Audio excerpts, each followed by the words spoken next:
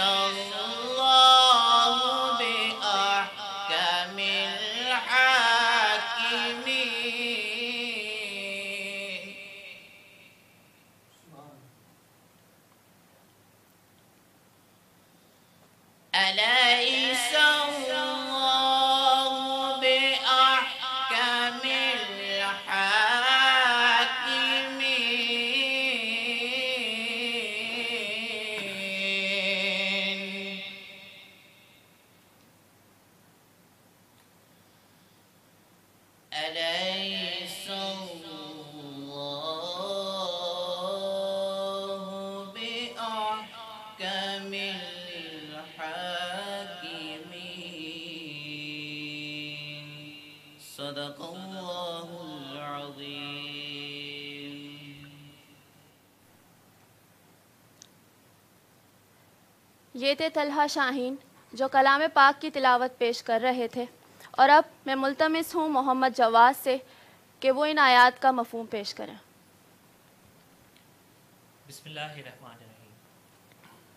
खुदाए रहमान रहीम ने इस किताब अजीम को इसलिए नाजिल किया है कि उसने अशियाए कायनात और नोए इंसान की नशो नुमा की जो ज़िम्मेदारी ले रखी है, वो पूरी हो जाए। ये नशो नुमा वही की रहनुमाई के बगैर मुमकिन नहीं। चूँकि इंसानी दुनिया में खुदा की जिम्मेदारियाँ इंसानों के हाथों पूरी होती हैं, इसलिए खुदा के बंदों के लिए ज़रूरी है कि वो जिस काम का भी इरादा करें, उससे मकसद खुदा के इस प्रोग्राम की तकमील हो।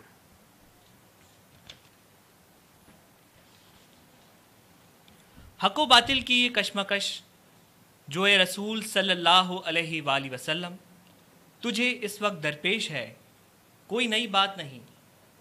शुरू से यही कुछ होता रहा है और यही कुछ होता रहेगा। इनकलाब खुदाबंदी की आवाज़ जहाँ और जब भी उठी, मफाद परस्त कुवतों, मुस्तबिद हुक्मरानों, सरमायादारों और मजहबी पेशवाओं को और मजहबी पेशवाओं ने इसकी मुखालफत की। चुनाचे तारीख इस पर शाहिद है कि जब यही आवाज़ नूह की ज़बान से कोही तीन से बुलंद हुई तो उसके साथ भी यही कुछ हुआ।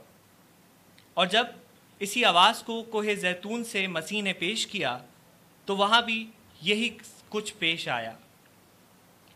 जब इस इनकलाब को तूर की वादियों में मूसा लेकर उठा तो उसके साथ भी यही गुजरी। और जब यही दावत उस बलद अमीन यानी अमन व सलामती का मरकज़ बनने वाले मक्का से उठी है तो उसके साथ भी यही कुछ हो रहा है। ये कशमकश इसलिए होती है कि हमने इंसान में इस अमर की सलाहियत रख दी है कि ये अपनी ज़ात की नशो नुमा करे, ये अपनी ज़ात की नशो नुमा की, ये अपनी ज़ात की नशो नुमा करके हुसन काराना अंदाज से बेहतरीन तोज़ुन की ज़िंदगी बसर करे।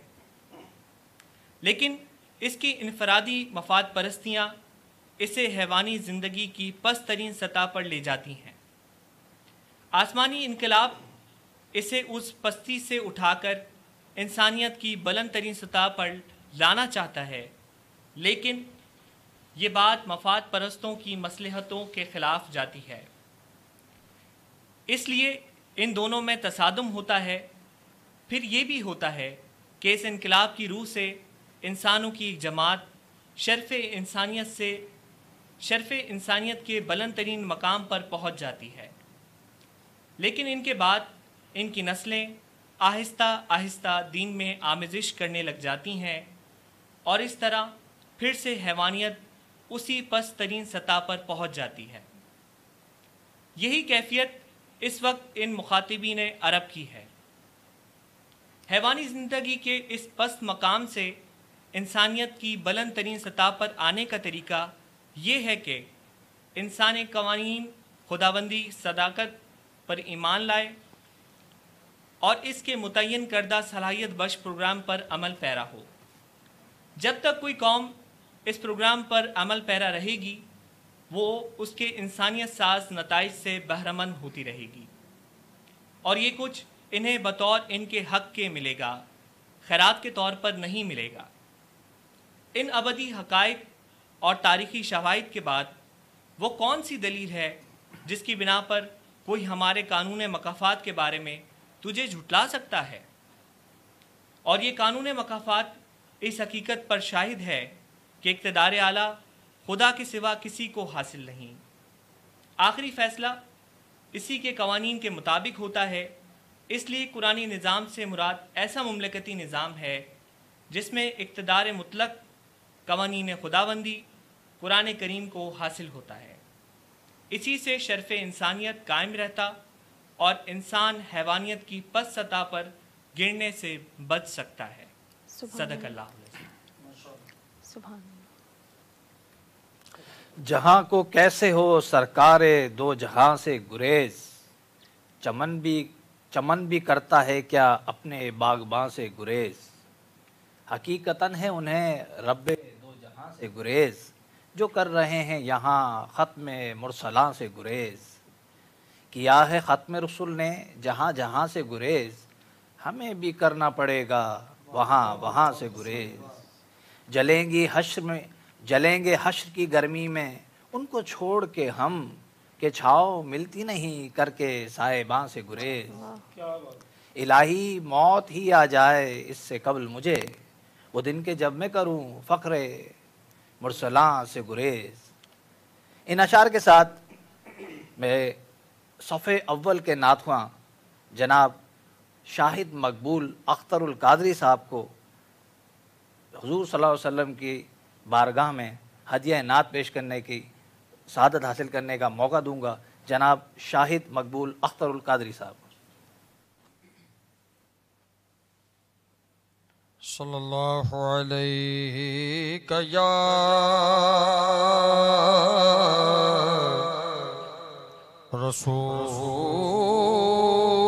रसूल अल्लाह वसल्लम अलैका या हबीब अल्लाह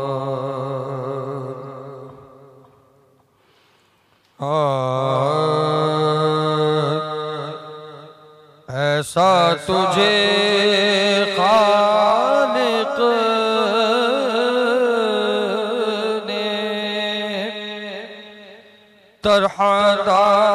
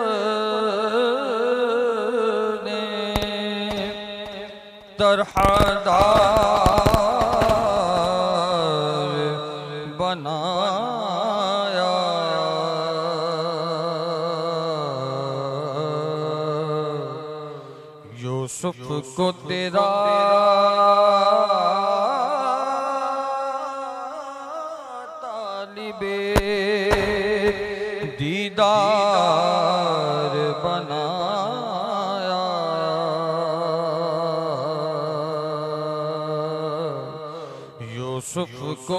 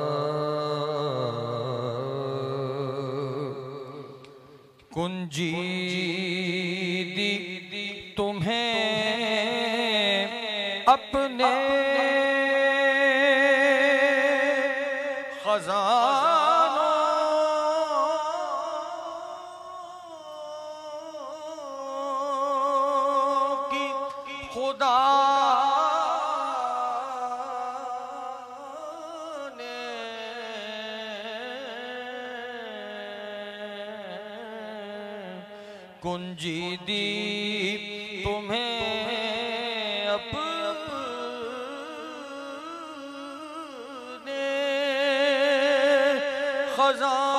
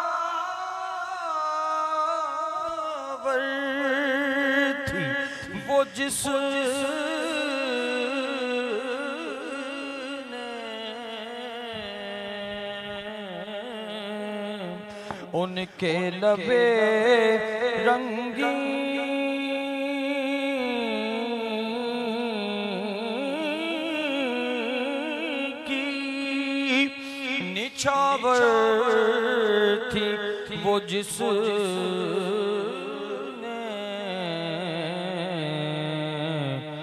पत्थर में हसन लाले पुर अनवार बनाया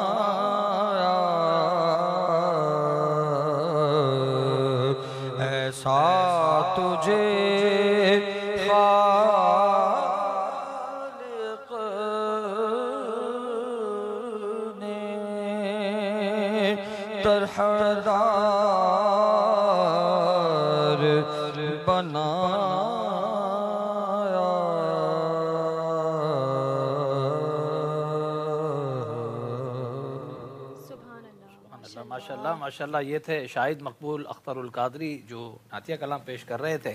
और जैम्स टीवी की बरह रास्त सहर नशियात मतला फज्र में आपको खुश आमदीद कहते हैं मैं हूँ आपका मेज़बान काशिफ रफ़ीक और मेरे साथ मौजूद हैं। मैं यसरा फारूकी अस्सलाम वालेकुम वरहमतुल्लाहि वबरकातुहू। नादीन जैसा कि आप जानते हैं ये हम नवी सहरी इख्तियार करेंगे और ये हमारी नवी ट्रांसमिशन है और ये भी आप जानते हैं कि ये जैम्स का ये खासा है कि हर ट्रांसमिशन को ये किसी के नाम से मंसूब की जाती है। तो आज की जो स्पेशल ट्रांसमिशन है या ये इस ट्रांसमिशन इस ट्रांसमिशन को जो हमने मंसूब किया है एक हैदराबाद के मरहूम शायर के नाम कुदरत कुदरतुल कादरी। कदरुल कादरी। कदरुल कादरी साहब के नाम से मंसूब किया है इसको। और इसमें उनके लिखे हुए कलाम भी हम जो है वो शाहिद मकबूल भाई से सुनेंगे। और उनके मुताबिक भी कुछ बात की जाएगी। उसके अलावा हमारे साथ जो मेहमान शख्सियात भी मौजूद हैं, उनका भी मैं तारफ़ कराता चलूँ। मेरे साथ सैयद शुजात अली मौजूद हैं, जो इस वक्त सिटी स्कूल को सर्व कर रहे हैं और पास एक्सपीरियंस में उनके साथ जो है वो टेक्निकल कंसल्टेंट रहे हैं, एजुकेशन एंड लिटरेसी में वर्ल्ड बैंक के साथ भी काम किया है, United Nation World Food Programme में भी उन्होंने काम किया है और साइकोलॉजिस्ट हैं। वैसे वो माहिर नफ्सियात हैं। उसके अलावा आगा खान एजुकेशन सर्विसेज़ पाकिस्तान में भी काम किया है। International Federation of Red Crescent के साथ भी उन्होंने काम किया है। Psychologist and International Medical Crops के साथ भी उन्होंने काम किया है। जी, और इसी के साथ जैसे जैसे सर भी मेंशन किया करते हैं कि अपने लिए तो सभी जीते हैं। बात वो है कि दूसरों के लिए जिया जाए। तो हमारे साथ रोज़ाना की बुनियाद पर आप मुलायजा करते हैं, हम आपकी मुलाकात करवाते हैं। कुछ नई समाजी शख्सियात से जो अपने लिए नहीं, बल्कि दूसरों के लिए भी जीती हैं और दूसरों की फलाह बहबूद के लिए काम करती हैं। तो आज हमारे साथ जो समाजी शख्सियत मौजूद हैं, उनका नाम है सैयद शारिक अली और आप नौजवानों की तरबियत के लिए हमेशा सरगर्म अमल रहते हैं। आपने कई इंटरनेशनल फोरम्स पर पाकिस्तान की नुमाइंदगी की है और इसके अलावा मुख्तलिफ़ एन का हिस्सा भी रहे हैं। जिसमें नई नस्ल की फलाह बहबूद के लिए आपने बहुत से प्रोजेक्ट्स पर काम किया है।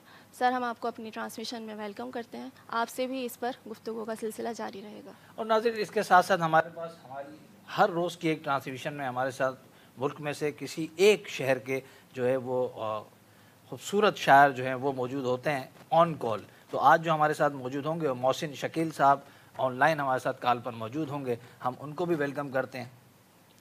और इसी के साथ हमारे साथ रोज़ाना की बुनियाद पर माशरे का एक एहसास करने वाला एक जो है बहुत इम्पोर्टेंट रुकन जो है वो हमारे साथ मौजूद होता है और शायर अपने लफ्ज़ों के ज़रिए जो चीज़ें बयान कर रहे होते हैं, वो बहुत ही जो है अहमियत का हामिल होती हैं।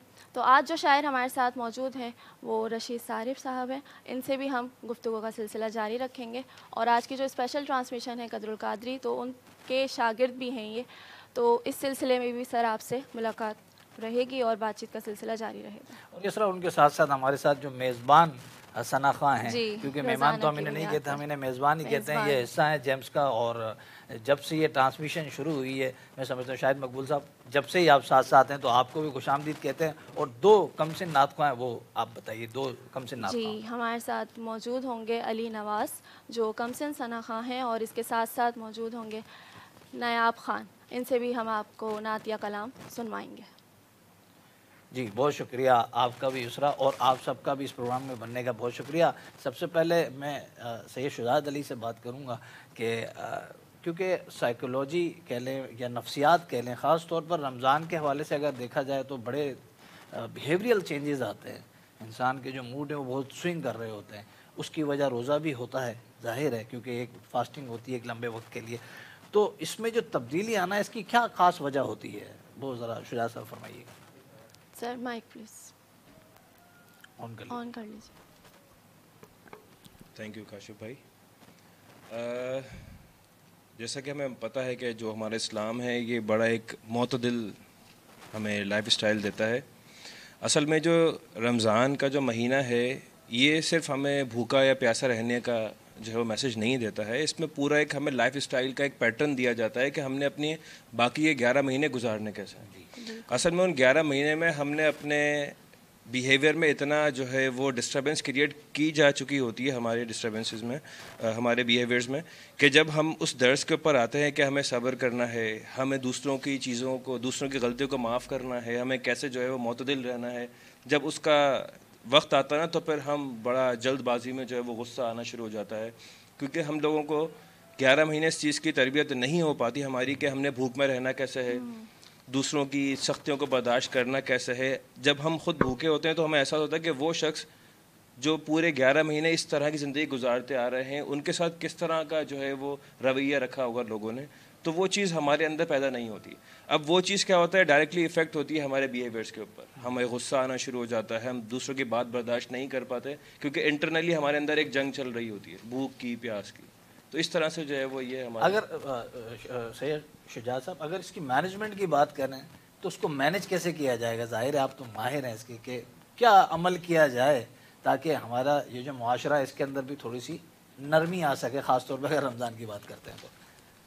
सबसे पहली बात, हमें अपने अंदर जो है वो इस चीज़ का एहसास पैदा करना है कि हर शख्स जो है एक इक्वल राइट रखता है कि अगर एक चीज़ या एक पैटर्न के ऊपर मैं चल रहा हूँ तो उसका अपना एक अलग पैटर्न है। हमें एक दूसरे को जो है वो बर्दाश्त करने की अपने अंदर सलाहियत पैदा करनी होगी कि कैसे जो है वो हम एक दूसरे को बर्दाश्त करें, दूसरों की तल्ख बातों को बर्दाश्त करें। एक बड़ा, एक कॉमन सा जुमला है कि हर शख्स आपको कहता हुआ मिलेगा कि मुझसे बुरी बात बर्दाश्त नहीं होती। एक्चुअल हमें बात बर्दाश्त ही बुरी करनी होती है। अच्छी बात तो जो है वो वैसे ही जो है वो हम है, हंसकर जो है वो टाल लेते हैं। तो हमें अपने अंदर अगर हमें ग्यारह महीने बाकी के ऊपर भी ये इस चीज़ पर मेहनत कर लें कि हमने अपने आप को इस चीज़ के तैयार करना है कि अपने साथ साथ दूसरों की भी उन तल्ख बातों को उन तल्ख हकीकत को बर्दाश्त करना है तो ऑटोमेटिकली ये सारा जो माशरा है ना ये बड़ा पॉजिटिव हमें इम्पैक्ट नज़र आना शुरू हो जाएगा। सर जैसे कहा जाता है कि एक आदत को अगर तीस दिन तक हम इम्प्लीमेंट कर लें और अपने अंदर उतार लें तो वो हमारे अंदर रच बस जाती है बिल्ट इन हो जाती है। फिर वो क्या चीज़ें हैं जो इसका रुकावट जैसे कि आपने मेंशन किया कि 11 महीने तो फिर हम आगे जाके ये चीज़ वापस से क्यों कर रहे होते हैं? वो क्या रीजंस हो सकता है? अब अगर एक आदत रच बस गई हाँ। एक महीने तक हम इसमें हमें अपने आप का एहतसाब करने की ज़रूरत है। क्या हम उस पूरे महीने के अंदर जो हमें रमज़ान में बताया गया है कि इस तरह से आपने इस पूरे महीने को गुजारना है तो क्या हम वैसे अपने आप को गुजार रहे हैं? क्या हम सुबह सहरी से लेकर और जो है वो शाम को अफ्तार तक वो तमाम रूटीन फॉलो कर रहे हैं? नॉर्मली अगर हम देखें तो हमारी सोसाइटी में एक रुझान बना हुआ है कि लोग रात भर जागते हैं सहरी करते हैं दिन भर सोते हैं। और अफ्तार के वक्त उठते हैं। तो वो जो तरबियत का टाइम था ना वो तो सारा गुजर गया। गया। वो तो सारा हमने सोने में गुजार दिया अफ्तारी की उसके बाद सारी रात बाहर घूमे फिरे खेला कूदे। फिर वो तो वो- एहसास कैसे होगा जो भूख और प्यास का है? जो अल्लाह ताला ने एक निज़ाम बनाया है एक ट्रेनिंग बनाई है तो वो चीज़ हम इम्प्लीमेंट नहीं कर रहे। एक लाइफ स्टाइल जो अल्लाह ताला हमें देना चाह रहा है इस महीने में हमने उसको अडॉप्ट करना है कि सुबह अफ्तारी सुबह हमने सहरी से लेकर अफ्तारी तक एक रूटीन लाइफ अपने आप को सेट करनी है कि सुबह मैंने उठा मैंने अर्ली नाश्ता किया उसके बाद मैंने एक टाइम सेट किया। अगर अपने मील्स का अगर हम टाइम सेट कर लें जो कि हमें अल्लाह ताला एक देता है कि रात सोने के लिए है और दिन भर जो है वो हमें मुशक्क़त या मेहनत या काम करने के लिए है। नॉर्मली अगर हम आम दिनों में अपनी रूटीन देखें तो हम बहुत लेट उठते हैं नाश्ता लेट करते हैं और रात का खाना बिल्कुल आखिरी पहर में जाके और हम फिर वापस सो जाते हैं। ऐसा तो वो जो खाने का डिस्टर्बेंसेस है वो पूरी हमारी लाइफ को जो है रूटीन को डिस्टर्ब करती है। वो पूरा लाइफ स्टाइल जब हमारी साइकिल डिस्टर्ब होती है ऑटोमेटिकली फिर हमारे बिहेवियर में चेंजेस आना शुरू हो जाते हैं। वो इम्पैक्ट नहीं आता जो आना चाहिए। तो एक अगर लाइफ स्टाइल जो हमें इस महीने में मिल रहा है हम उसको अपने ऊपर सेट कर लें तो ऑटोमेटिकली आगे ये ग्यारह महीने भी हम बड़ी आसानी के साथ एक पॉजिटिव इम्पैक्ट के साथ इस सोसाइटी में अपना पार्ट प्ले कर सकते बहुत अच्छी और बहुत बेहतरीन बात आपने बताई। असल में वैसे तो इसमें सैयद शुरा साहब ये ट्रेनिंग का महीना है। आपका भी यही मौके है हम सब भी यही जानते हैं ट्रेनिंग का महीना लेकिन ये बात बिल्कुल वाजह है कि पूरे 11 महीने के बाद जब ये माह आता है तो इसके अंदर दरअसल हमने एक रूटीन सेट करना होता है। और वो रूटीन ही टोटल अगर देखा जाए अस्सी फ़ीसद मैं समझता हूँ कि अस्सी नब्बे परसेंट या सत्तर परसेंट से अस्सी परसेंट के जो लोग हैं उनका रूटीन ख़ास तौर पर इस माह में आउट है। जॉब्स वाले अगर मामला आते हैं तो फिर तो चलें शायद वो कदरन बेहतर होगा। लेकिन अगर इसके अलावा देखेंगे तो वो सारी रात जागना है और फिर सहरी करनी है और फिर सो जाना है। और फिर उसके बाद आपने जो है वो जोहर या असर पर उठना है। तो वो खाने वाला जो मामला है इसके अंदर ज़ाहिर है उससे भी एक चेंज आता है। वो मेरा एक इसके अंदर ये भी सवाल है लेकिन ये आगे चल के पूछेंगे। थोड़ी सी बात अब शारिक से भी कर लें। जी ऐसा जी सर आपने जैसा कि मेंशन किया कि डिफरेंट ऑर्गेनाइजेशंस में आपने काम किया है एन में भी रहा इंटरनेशनली भी आपने पाकिस्तान को रिप्रेजेंट किया। तो कहाँ पर आपका एक्सपीरियंस जो है वो बहुत अच्छा रहा और वहाँ से आपने कि भाई यहाँ से बहुत कुछ सीखने को मिला और यहाँ से मैंने गेन किया? आपकी जो असल आपकी हाँ। अपनी डेवलपमेंट की अगर बात करें माशाल्लाह से आपकी अगर मैं यहाँ पे की पॉइंट देखता हूँ तो बहुत सारे हैं। बहुत तो अगर आपकी अपनी डेवलपमेंट की ताकि ऑडियंस और इस वक्त जो हमारी जनरेशन सुन रही है क्योंकि सब यंग एज ही बैठे हैं तकरीबन हाँ, यहाँ पर ना? हमारी बैठी है। तो उन तक ये पैगाम पहुँचे कि ये सबसे इन सारी ऑर्गेनाइजेशन में काम करने के बाद ये सबसे इम्पोर्टेंट एरिया था कि यहाँ से मेरी डेवलपमेंट ज़्यादा हुई है। अस्सलाम वालेकुम। सबसे पहले तो आप लोगों का बहुत बहुत शुक्रिया कि आपने मुझे मधु किया और सबसे पहले मुबारकबाद मैं सर उनकी पूरी टीम को दूँगा कि हर साल इस तरह की ट्रांसमिशन लेके आते हैं जिसमें हमें नई नई इन्फॉर्मेशन मिलती है। अच्छा जहाँ तक बात रही एन के हवाले से जी। ये खिदमत दे खल तो आदम के दवाने से चली आ रही है। हम्म, और तरबियत इसके अंदर सबसे पहले नंबर पे है। एन का जो मकसद था क्योंकि मैं अभी आहिस्ता आहिस्ता अपने पॉइंट पे आऊँगा एन का जो मेजर मकसद था वो ये था कि तरबियत की जाए। और तरबियत किस तरह से की जाए कि आपका हुसन अखलाक कैसा है? आप किस तरह से लोगों से बात करते हैं? जैसे कि माह रमज़ान है इसमें सबसे ज़्यादा दर्ज क्या दिया जाता है कि आप लोगों से कैसे कोई गुस्सा कर रहा है कि आप भी गुस्सा करें तो फिर आपका रोज़ा ज़ाया है। क्या बात है। हम्म, फिर आपका रोज़ा तो वो है ही नहीं। क्योंकि अगर आपने आपने अंदर आपने बिल्ड नहीं किया बर्दाश्त हाँ। आपने बर्दाश्त करना नहीं सीखा तो इसका मतलब आपने रोज़े की अफाया तो समझी नहीं। ट्रेनिंग ही नहीं ली। ट्रेनिंग नहीं ली तो बेसिक चीज़। और जहाँ तक मुझे एनजीओ से इंटरनेशनल जो मुझे बेनिफिट मिले मैंने कुछ टाइम पहले 2022 के अंदर एक्सपो दुबई हुआ था वहाँ पे मैंने एज वॉल्टियर काम किया था। तो वहाँ पे जितने भी वॉल्टियर थे वो डिफरेंट कंट्रीज़ से थे डिफरेंट सिटीज़ से भी थे। तो वहाँ पे जो हमारे हेड थे वो एक बात कहते थे सिर्फ़ टॉलरेंस टॉलरेंस कोई आपसे गुस्से से बात करे ना आप स्माइल करें।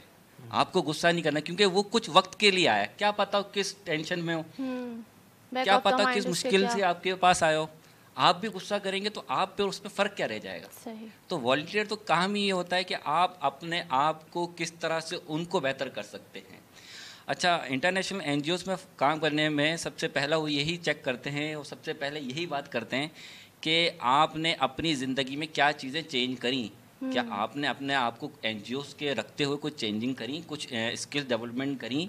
या फिर सिर्फ़ आपने सिर्फ़ एक वक्त के टाइम गुजारा और चले गए? क्या आपने मैनेजमेंट स्किल सीखी? क्या मैनेजमेंट टाइम सीखी आपने? या फिर आपने अपने ही एरिया में कुछ डेवलपमेंट की या नहीं की? क्रिएटिविटी आप लाए आइडियाज़ आपने बिल्ड करे। ये चीज़ें बहुत ज़्यादा इंटरनेशनल एन में मुझे देखी और वहाँ पे वो काम कर रहे हैं। जैसे कि एक एनजीओ राइट टू प्ले ये पाकिस्तान में भी काम करती है। सही। ये एजुकेशन डिपार्टमेंट में भी काम करती है और डिफरेंट एरियाज़ में भी काम करती है। उनका मेजर मकसद ये होता है कि बच्चों को ट्रीट कैसा किया जाए। हम्म, बच्चों को समझाया कैसे जाए? बच्चों को पढ़ाया कैसे जाए? बच्चा अगर, बहुत सारे बच्चे ऐसे होते हैं जिनका दिमाग इस तरह से नहीं होता, वो इस तरह से स्टडी को रीड नहीं कर पाते तो उनको आपने ट्रीट कैसे करना है? जैसे कि हमारे स्कूलों में, गवर्नमेंट स्कूलों में मादत के, गवर्नमेंट स्कूलों के अंदर ये होता है कि टीचर जो होते हैं, वो बड़े गलत तरीके से स्टूडेंट को ट्रीट करते हैं। तो आपने किस तरह से स्टूडेंट को ट्रीट करना है किस तरह से उनसे बात करनी है किस तरह से उनको एजुकेशन के साथ करिकुलम एक्टिविटीज़ में पार्टिसिपेट करवाना है। तो हमें इंटरनेशनल एन के अंदर ये चीज़ें सिखाई गई ये चीज़ें समझाई गई और मुझे जो सबसे बड़ा बेनिफिट मिला कि मैं इंटरनेशनल यूथ से कनेक्ट हुआ। उनके क्या थॉट्स थे वो क्या सोचते क्या बात है, हैं क्या और वो किस ख्याल के ऊपर टिकते इवन के बहुत सारे नॉन मुस्लिम थे जिन्होंने कुरान पढ़ा हुआ है। वो कुरान के अंदर तमाम इथिक्स तमाम हुस्न अखलाक सीख के बैठे हुए हैं जो आज हम में कम है। शारी साहब आपकी बात को मैं ज़रा यहाँ पर ही रोकता हूँ। लाइव कॉल पर हमारे पास हमारे साथ मोहसिन शकील साहब जो ऑनलाइन शायर है हमारे साथ वो मौजूद हैं। सर अस्सलाम वालेकुम। वालेकुम अस्सलाम। मोहसिन शकील साहब कैसे हैं आप? खैरियत से हैं? ठीक हैं?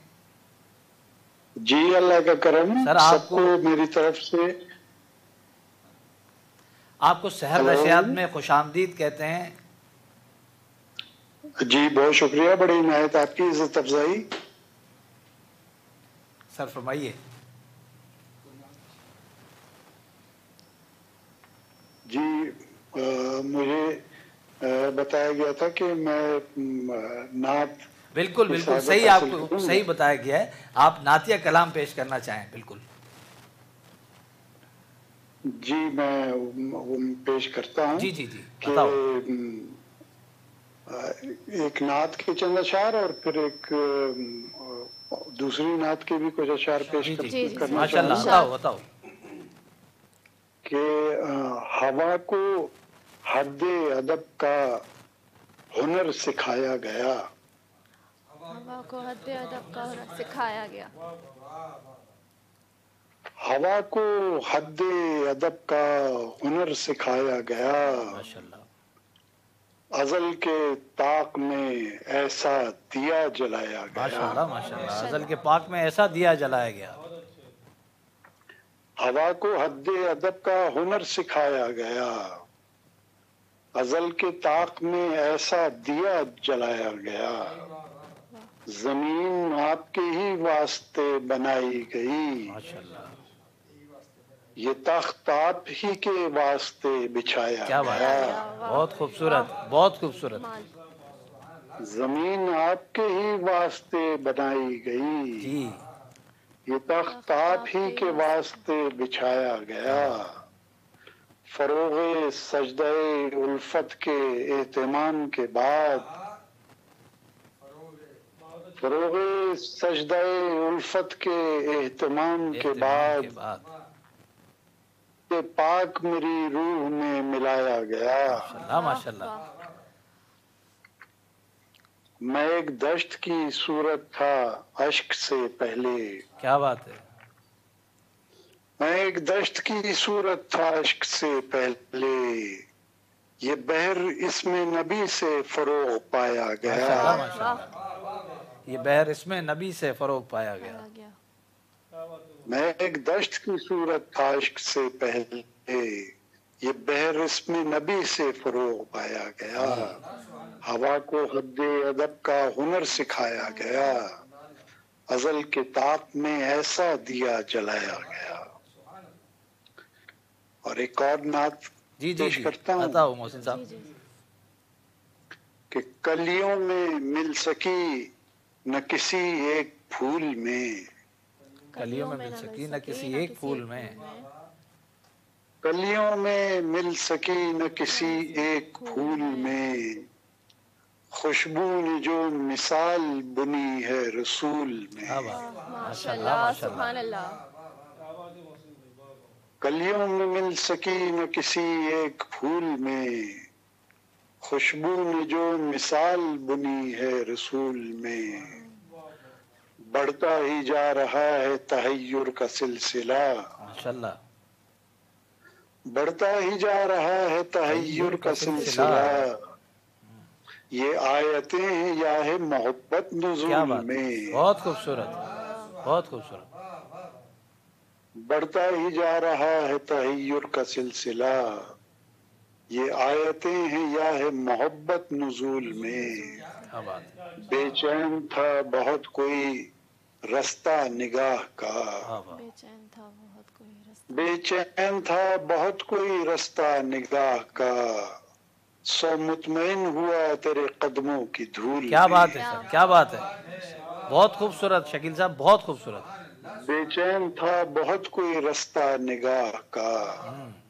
सो मुतमईन हुआ तेरे कदमों की धूल में। हूँ सुरखरू में बार गहे इश्क में तमाम।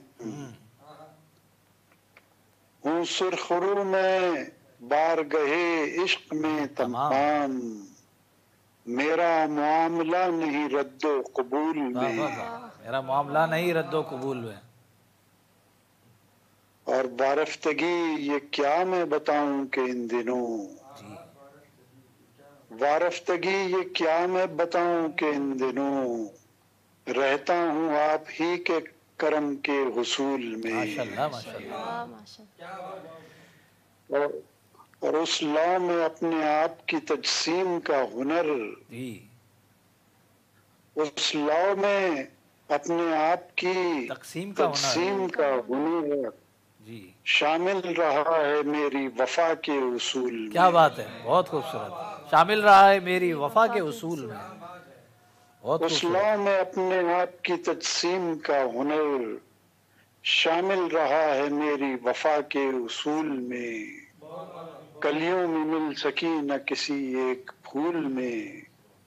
खुशबू ने जो मिसाल बुनी है रसूल में। बहुत खूबसूरत मोहसिन शकील साहब बहुत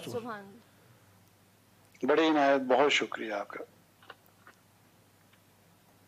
सर अशार आता हूँ। चलें चलें ठीक हो गया। मोहसिन शकील हमारे साथ कोयटा से इन्होंने ज्वाइन किया था हमें और जो शोरा कराम हमारे ज्वाइन नहीं कर सकते मुसाफत के बायस या किसी और वजह से तो टेक्नोलॉजी इतनी आम हो चुकी है कि अब हम उन्हें ऑनलाइन अच्छा ये सर ये ख़ास तौर पे अब तक क्योंकि आज हमारी नवी सहरी है तो ये मैंने देखा है और आपने भी नोट किया होगा कि सुबह सिंध से भी बाहर के शायर होते हैं। जी जी सुबह बिल्कुल। सिंध से भी बाहर के शायर और और मुस्तफ़ीद हो रहे हैं हम उनसे। बैरून बैरून मुल्क से भी हैं। बिल्कुल। लेकिन ये खासा जेम्स का है और फाउंडर का भी इसमें एक बहुत बड़ा किरदार है। है, बहुत बड़ा किरदार है कि वो ये सारी चीज़ें मैनेज करते हैं। जी हाँ एक एक चीज़ एक एक चीज़ जो है वो जैसे हीरा जड़ा जाता है ना ताज में ऐसे उठा उठा के एक एक चीज़ लगाई जाती है और फिर जाके ये सारी ट्रांसमिशन जो है वो आप तक पहुँच रही होती है नाजरीन। और हम जो है वो बात कर रहे थे सैयद हाँ, शारिक अली साहब। अच्छा हम डेवलपमेंट की बात करें तो आपने बहुत खूबसूरत बात कही उसके अंदर कि जब आप इंटरनेशनली स्टूडेंट्स यानी कि जो हम उम्र लोगों से जब आपका रबता बना तो जो आपकी दिमागी सलाहियत पे उसका जो असर पड़ता है मैं भी समझ सकता हूँ इस बात को। उसको लेकर जब आप अपने कह लीजिए, स्कूल सिस्टम में, कॉलेज सिस्टम में, या आप जो कंसल्टेंसी भी करते हैं, यूथ के साथ भी आपने तकरीबन दस साल का आपका एक्सपीरियंस है तो ये वो चीज़ें होती हैं जो आपका किरदार शहर में नुमाया करती हैं। ठीक हो गया? एक, आपने जैसे चीज़ मेंशन की, तरबियत के हवाले से। तो जैसे कि आपने बताया कि आपने इंटरनेशनल दुबई में भी वहाँ पर एज अ वॉल्टियर काम किया। तो वो तरबियत का एक कौन सा ऐसा फैक्टर है जो आप समझते हैं कि यहाँ पाकिस्तान में अलग है और वहाँ अलग है।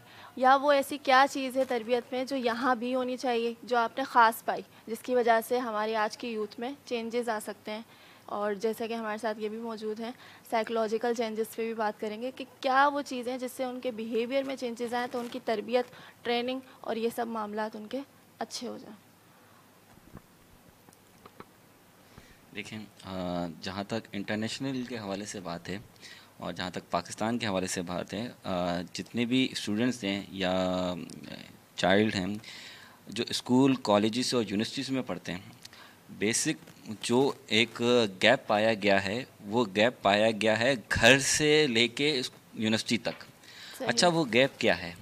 हम हमेशा इस पर बात करते हैं और जितने भी स्कूल में कॉलेज में यूनिवर्सिटीज़ में जाते हैं स्टूडेंट से बात करते हैं उन्हें अपना इब्तदा ही नहीं पता होता। बेस बेस ही नहीं पता होता कि बेसिक चीज़ें हैं क्या। इवन बहुत से ऐसे स्टूडेंट्स हैं जो ये तक नहीं जानते कि हमने किस तरह से किसी से बात करनी है क्योंकि उनके इन्वायरमेंट में ये चीज़ ढली नहीं होती। एक बाप है जो सुबह जाता है शाम में आता है। हम्म, एक माँ है अगर वो भी जॉब पे जाती है तो बच्चे की तरबियत कौन करेगा? टीचर्स का भी तो बड़ा किरदार टीचर्स अब आती है बात टीचर्स पे।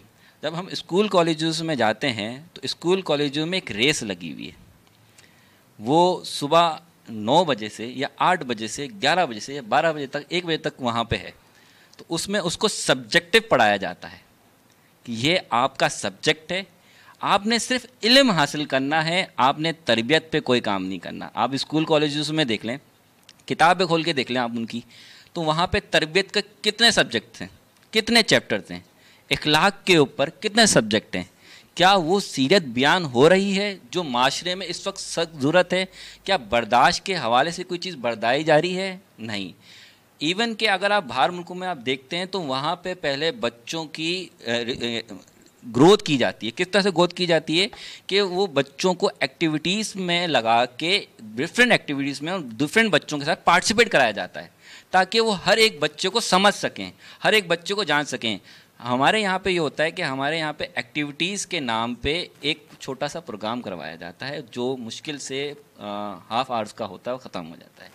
स्कूलों के अंदर वहाँ के स्कूलों में आपके स्टूडेंट्स के जो एक लेवल होता है वो इस तरह से होता है कि वो स्टार्टिंग से लेके आठवीं तक अगर हम यहाँ समझें तो वो पूरी तरबियत पे काम करते हैं। अब हमारे यहाँ पे होता है कि हम यहाँ आते ही बच्चों को सब्जेक्ट पे लगा देते हैं कि उसे इंग्लिश पढ़नी है उसे उर्दू पढ़नी है उसे मैथ पढ़नी है उसे फिज़िक्स पढ़नी है उसे केमिस्ट्री पढ़नी है। वो जब ये पढ़ के ले लेगा उसे पता ही नहीं है कि तरबियत क्या है। क्योंकि स्कूल से ना उसे ये मिली है क्योंकि स्कूल में टीचर के पास टाइम कितना होता है? एक सब्जेक्ट का मैथ के टीचर का चालीस मिनट का। लेकिन यहाँ पे वो बात मैं कहूँगी कि पाँचों उंगलियाँ बराबर नहीं होती। हर इस ऐसा नहीं होता। कुछ इस ऐसे भी होते हैं जो अपने एक 40 मिनट्स के यूनिट्स में से एक मिनट में भी कोई ऐसी बात बोलते हैं जो उनके दिमाग में क्लिक हो जाए जो उनके अंदर एक चेंज लेकर आ जाए तो वो भी बहुत बड़ी बात होती है और हम इस में ऐसे इस पाए जाते हैं। जी बिल्कुल मैं ऐसे इनकार नहीं करा बट ये अब वही बात है ना कि सत्ताईस करोड़ की आवाम है। इससे कम कर लें। और यूथ हमारे पास बहुत ज़्यादा है। और अगर आप कोई भी वाक़ात देखती हैं तो उसमें यूथ की तादाद ज़्यादा होती है। होती। सही है। अदम बर्दाश्त ये। हम्म, जो काम कर रहे हैं वो अपनी जगह पे काम कर रहे हैं। ये नहीं कि ऐसा काम नहीं हो रहा। लेकिन वो इस वक्त हमारे मुल्क में एमरजेंसी है इस हवाले से। वो काम प्रॉपर तरीके से नहीं हो रहा। कुछ तलबा हैं जो इस चीज़ को आगे लेके चल रहे हैं लेकिन वो कुछ हैं। तादाद में नहीं है। जब तक तादाद नहीं बढ़ेगी और स्ट्रक्चर स्कूल और कॉलेज का जब तक मेंटेन नहीं होगा कि हमें इस बच्चों की तरबियत पे काम कैसे करना है जब तक ये चीज़ आगे नहीं बढ़ेगी। तो इस हवाले से आपकी काविशें इंडिविजुअल बेसिस पे? हाँ बेसिकली हमने इस पे एक स्टार्ट किया था स्कूल कॉलेजेस और अकेडमीज़ उसमें हमने ये इनिशिएट लिया था कि इस जब बच्चा हमारे पास आ रहा है तो हम उसको डिफरेंट एक्टिविटीज़ में पार्टिसिपेट कराया करते थे। उसका माइंड डाइवर्ट किया करते थे डिफरेंट एक्टिविटीज़ से। उसको किसी भी डिफरेंट चीज़ पे लगा दिया करते थे। फिर उससे बात किया करते थे। हमारा सबसे बड़ा मसला है कि हम बच्चों से बात नहीं करते। बच्चा क्या प्रॉब्लम है स्कूल में क्या प्रॉब्लम है घर में क्या प्रॉब्लम है क्या चीज़ उसकी ज़िंदगी में चल रही क्या उसके इन्वायरमेंट में कोई उसको दुख तो नहीं मिला? बहुत से ऐसे वाक़यात होते हैं। आपने आ, कुछ टाइम पहले एक वाक़या देखा होगा एक बच्ची का जो एक नामी ग्रामी स्कूल से बच्ची जी। कूद गई। क्या था इश्यू बच्ची से किसी ने बात करी? बच्ची से उसको समझा? उस उसके क्या प्रॉब्लम चल रही है? क्या इश्यूज़ थे जिसकी वजह से उसने ये स्टेप लिया? तो आ, जो कहने की बात है तो हमने इस पे ये इनिशिएट लिया कि बच्चों की बच्चों से बात करना स्टार्ट करा, उनको करिकुलम एक्टिविटीज़ में पार्टिसिपेट करवाने लगा। उनके जो प्रॉब्लम थे, हमने कोशिश की अपने हद तक कि उनको सॉल्व आउट करें और उनको एक चीज़ राह दिखाएँ कि ये चीज़ ऐसे भी हो सकती है, ये इस तरह से भी बात की जा सकती है। आप इसमें भी पार्टिसिपेट कर सकते हैं। और अल्हम्दुलिल्लाह उसका पॉजिटिव रिस्पॉन्स ये आया है कि हर स्कूल कॉलेज में से बच्चों ने हमारे साथ पार्टिसिपेट करते थे। एक्टिविटीज़ में पार्टिसिपेट करते थे और ये सिर्फ़ पार्टिसिपेट नहीं रिप्रेजेंट भी करते थे। जब चीज़ रिप्रेजेंट होती है तो बच्चा खुश होता है यार मैं इन चीज़ों में हूँ। और यही चीज़ें इंसान को एक अच्छा इंसान बनाने की तरफ़ लागे बहुत करती है। खूबसूरत बहुत खूबसूरत। शारिक साहब अच्छा एक हमारे पास लाइव कॉल है। उसके बाद फिर जो है यसरा मैं सैयद शुजात से जो है ये चाइल्ड कंसल्टेंसी जो है ना उस पर भी हम थोड़ी सी बात करेंगे कि जैसे अभी शारिक भाई ने कहा कि एक बड़ा वाक़या वो पेश आया था शहर हैदराबाद में जिससे तकरीबन सभी को तकलीफ़ पहुँची थी उस वाक़े से तो उस पर भी थोड़ी सी हम बात करेंगे। जी है आप ठीक ठाक है? हेलो जी अस्सलाम जी वालेकुम सलाम काशिफ भाई कैसे आप? खैरियत से जी अल्लाह का फजल अल्लाह का फजल। कौन सा आप बात कर रहे हैं? सर मैं काशिफ बात कर रहा हूँ नौ नंबर अलमुस्तफा से अच्छा अच्छा हम नाम बात कर रहे हैं। कैसे हैं आप? ठीक हैं खैरियत से हैं? अल्हम्दुलिल्लाह अल्हम्दुलिल्लाह। आपका प्रोग्राम माशाल्लाह बहुत ज़बरदस्त है। बहुत शुक्रिया। फैमिली में तकरीबन सभी लोग देख रहे हैं। बहुत शुक्रिया बहुत और शुक्रिया इस शहर की मतलब नीड भी थी इस तरह का प्रोग्राम शहर की बुनियाद पे किया जाए। और शहर से ही जो वो लोगों को मुंतखब किया जाए प्रोग्राम के अंदर। तो आपका प्रोग्राम माशाल्लाह बहुत अच्छा है। और आपके प्रोग्राम की खूबसूरती ये है कि जी आप साथ में मतलब आपने गेस्ट अपना आलिम दीन भी बैठे हुए होते हैं नाश्ता भी होते हैं। तो हर तरह के लोग लुफ्त अंदोज होते हैं आपके प्रोग्राम से। माशाल्लाह। और सर मेरी रिक्वेस्ट थी कि आपके यहाँ आलिम दीन वगैरह आते हैं तो कोशिश क्या करें कि बेसिक दीन जो है हमारा हमारी नस्लों के लिए जिससे लोग गाफिल हैं। उसके ऊपर अगर बातचीत हो तो बहुत ज़्यादा अच्छा होगा क्योंकि आपको पता है रमज़ान का ऐसा महीना है इसके अंदर लोग थोड़ी दिलचस्पी अपनी ज़ाहिर करते हैं अल्लाह की जात के साथ और इबादत के साथ। तो इन दिनों में बेसिक चीज़ें लोगों के लिए मतलब मुश्किलात होती हैं जो लोग मतलब पता नहीं होती लोगों को बातें। तो उस प्रोग्राम के ज़रिए लोगों को पता चले तो ये सदका जारिया हो जाएगा आपकी टीम के लिए भी और आने वाले मेहमान के लिए भी। जी इनशाला काशिफ भाई इंशाल्लाह हम पूरी कोशिश करेंगे और ये बहुत बेहतरीन आपने बात की है। बहुत अच्छा हाँ। अच्छी सजेशन बाकी आपका प्रोग्राम बहुत अच्छा है माशाल्लाह। फैमिली में तकरीबन लोग देखते हैं और बड़ी दिलचस्पी से देखते हैं। हमारी दुआ है जेम्स टीवी के लिए। अल्लाह इसको तरक्की दे कामयाबी दे। रूज दे। आपको आपकी पूरी टीम को। और इस शहर के लोगों की दुआ आप आप, आप लोगों के साथ है। अल्लाह कामयाबी दे आप लोगों बहुत शुक्रिया काशिफ कॉल कर रहे थे आप। बहुत शुक्रिया बहुत शुक्रिया। अल्लाह हाफिज। देखिए नाजिर ये जो आपकी हौसला अफजाई ये कॉल आप करते हैं मैसेजेस आप करते हैं मेरे पास मैसेजेस की भी एक कतार लग गई तो वो भी मैं अभी शामिल करूँगा लेकिन उससे पहले हमारे साथ जो है वो आ, शायर भी एक मौजूद हैं तो उनसे ज़रा तरह रशीद सारब साहब से तो एक नातिया कलाम भी सर आपसे सुनेंगे और थोड़ा सी हम बात करेंगे कि एक जो आज मनसूबियत है मनसूब जो किया है आज की ख़ास इस ट्रांसमिशन को इस नशरियात को कदरुल कादरी साहब से तो वो उस्ताद और शागिर्द का भी एक रिश्ता है आपका तो उस बारे में भी थोड़ा सा फरमाइए फिर नात भी पेश कीजिए। उनके कुछ वाकयात कुछ मेमोरीज। तमाम साथियों को अस्सलाम वालेकुम। वालेकुम अस्सलाम। इंतहाई खुशी की बात है कि उस्ताद जो है उस्तादुल शोरा मोहतरम कदीर अहमद कदरुल कादरी साहब जो कि मेरे उस्ताद भी हैं उनका ये प्रोग्राम रखा गया और ये जेम्स जो टीवी है चैनल है ये इनका बहुत बड़ा कारनामा है कि हैदराबाद के जितने भी नामवर शोरा हैं इस दफ़ा की ट्रांसमिशंस में उनको शामिल किया गया है। जो एक खुश आइंद बात है और इन ताला इसी तरीके से हम अपने बड़ों को याद रखते रहेंगे तो वो भी हमेशा ज़िंदा रहेंगे। तो मैं उनका शागिद कदीरुल कादी साहब का मैं शागिद रहा हूँ और हूँ और मुझे इंतहाई खुशी है कि वो हमारे अभी इस वक्त साथ नहीं है लेकिन रूहानी तौर पर वो हमारे साथ हैं। जी। तो नात के चंद अशार। जी आमिल अगर जहाँ हो मोहम्मद की बात बात आमिल अगर जहाँ हो मोहम्मद की बात का परवाना बिल यकी मिले उसको निजात का। क्या परवाना बिल यकी मिले उसको निजात का। कोनो मकाम अफजलो अकमल बना दिया। कोनो मकाम अफजलो अकमल बना दिया। एहसान है जहाँ पे मोहम्मद की ज़ात का। एहसान है जहाँ पर मोहम्मद की ज़ात का। दो शेर और देखिएगा कि एहसास के आँगन में उतर आए मदीना। क्या बात क्या बात बहुत एहसास के आँगन में उतर आए मदीना। उतर आए मदीना। मैं आँख अगर खोलूं नज़र आए मदीना। क्या बात है। सर मुकर्रम। मैं आँख अगर खोलूं। और पढ़ दीजिए। बहुत खूबसूरत। एहसास के आँगन में उतर आए मदीना। एहसास के आँगन में उतर आए मदीना मैं आँख अगर खोलूं नज़र आए मदीना। और ये सोच कर मैं गर्दे सफ़र हूँ मेरे मौला। ये सोच कर ये सोच कर मैं गर्दे सफ़र हूँ मेरे मौला। जब ख़त्म हो ये मेरा सफ़र आए मदीना। क्या बात है क्या बात है जब ख़त्म हो ये मेरा सफ़र आए मदीना। और नात का देखिए मतलब क्या है कि मेरे ख्याल ख्वाब में चेहराए आपका। क्या बात है? मेरे ख्याल ख्वाब में चेहराए आपका। एहसास की किताब में चेहरा है चेहरा चेहरा है आपका क्या बात है। मेरे ख्याल ख्वाब में चेहराए आपका एहसास की किताब में चेहराए चेहराए आपका।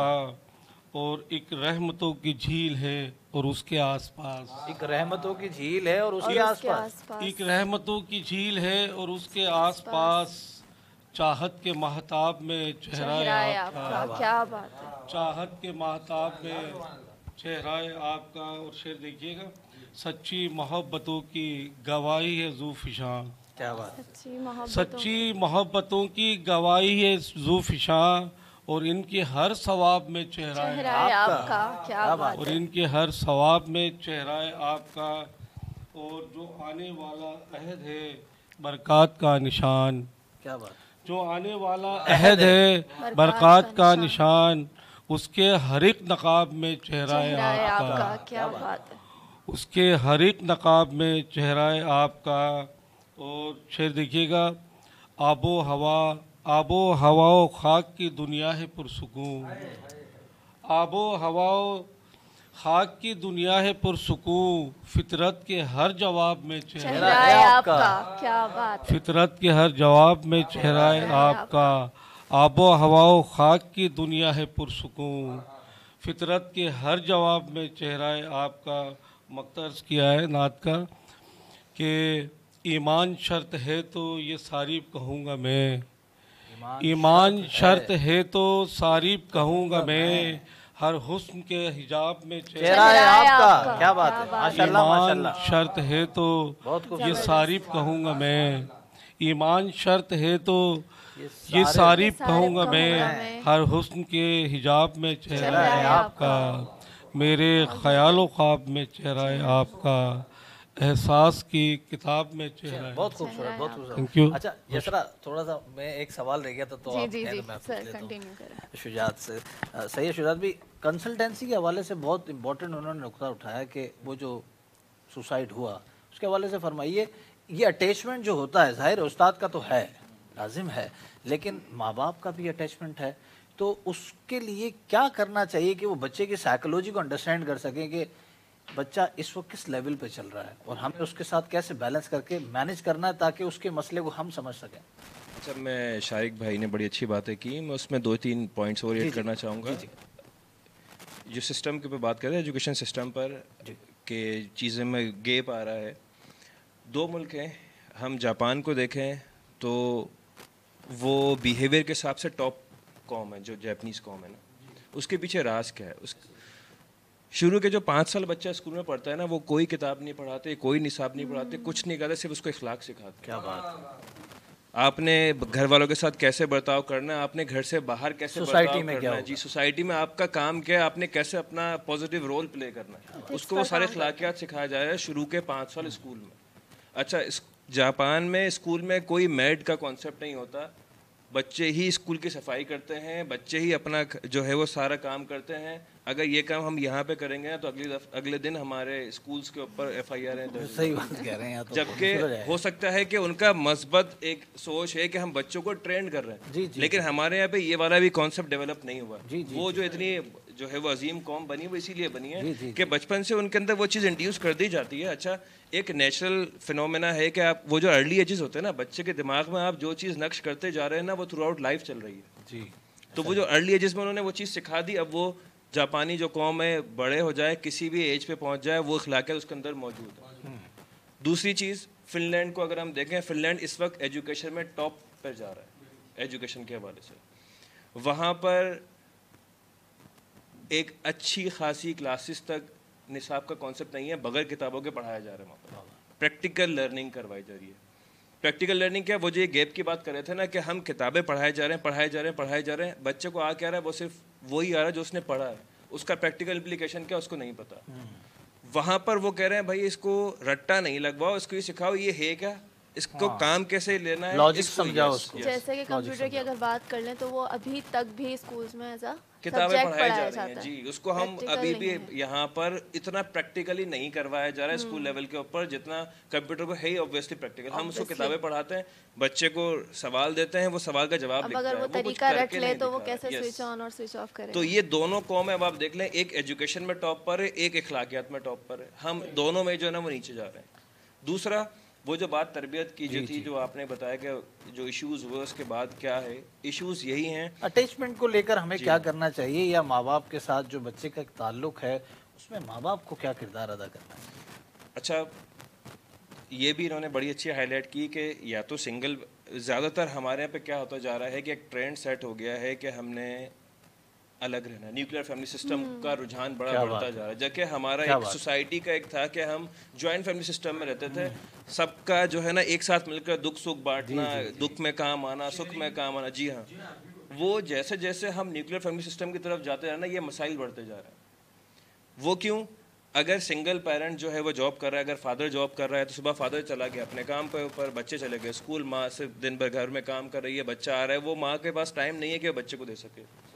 जबकि एक और चीज़ देखी जा रही है कि हमारे पास सिंगल पेरेंटिंग नहीं दोनों पेरेंट्स जॉब पर जॉब करते हैं सही बात। अब सुबह दोनों जॉब पे गए बच्चे स्कूल गए बच्चे स्कूल से वापस आए माँ बाप नहीं है। वो खुद ही आए या कोई मैड है उसने तैयार किया वो फिर ट्यूशन चले गए ट्यूशन से वापस आए माँ बाप थके हुए हैं अभी डिस्टर्ब नहीं करो understanding. इस तरीके से करते करते सारा दिन गुजर गया। वो बच्चे के पास माँ बाप के पास एक साथ बैठने का टाइम ही नहीं मिल पा रहा। टाइमिंग मैच नहीं हो पा रही। कुछ बच्चे तो ऐसे हैं जो शायद अपने वालिद से हफ़्ते में संडे को या फ्राइडे को बात करते हैं बाकी जब वो सुबह उठते हैं तो फादर सो रहे हैं या जा चुके हैं जब वो बच्चे सो जाता है तो फादर उसके बाद आ रहा है। तो वो अंडरस्टैंडिंग डेवलप कहाँ से होगी? वो बच्चा जो आपसे बात करना चाह रहा है वो कर ही नहीं पा कम्युनिकेशन गैप बहुत ज़्यादा आ जाता है। जी। और शायद यही वजह है कि हमारी आज की जनरेशन और 20 साल वाली जनरेशन की सोच में भी काफ़ी अच्छा ये भी ये भी मेरा एक सवाल है ये भी हम सवाल ले लेंगे इसरा आगे चल कर के अच्छा। ये जो पचास साल और साठ साल हमारे जो सीनियर्स हैं वो और फिर बीस साल और तीस साल की जो जनरेशन है इसकी सोच में और उनकी सोच में बड़ा फ़र्क आ चुका है। ये क्यों आ रहा है? इस पर मैं सवाल पे हम बात करेंगे लेकिन हमारे साथ एक हमसे नात खां मौजूद हैं और नायाब खान। तो मैं चाहूँगा कि वो जो है नात रसूल मकबूल पेश करें। अ, नायाब खान। सल्ले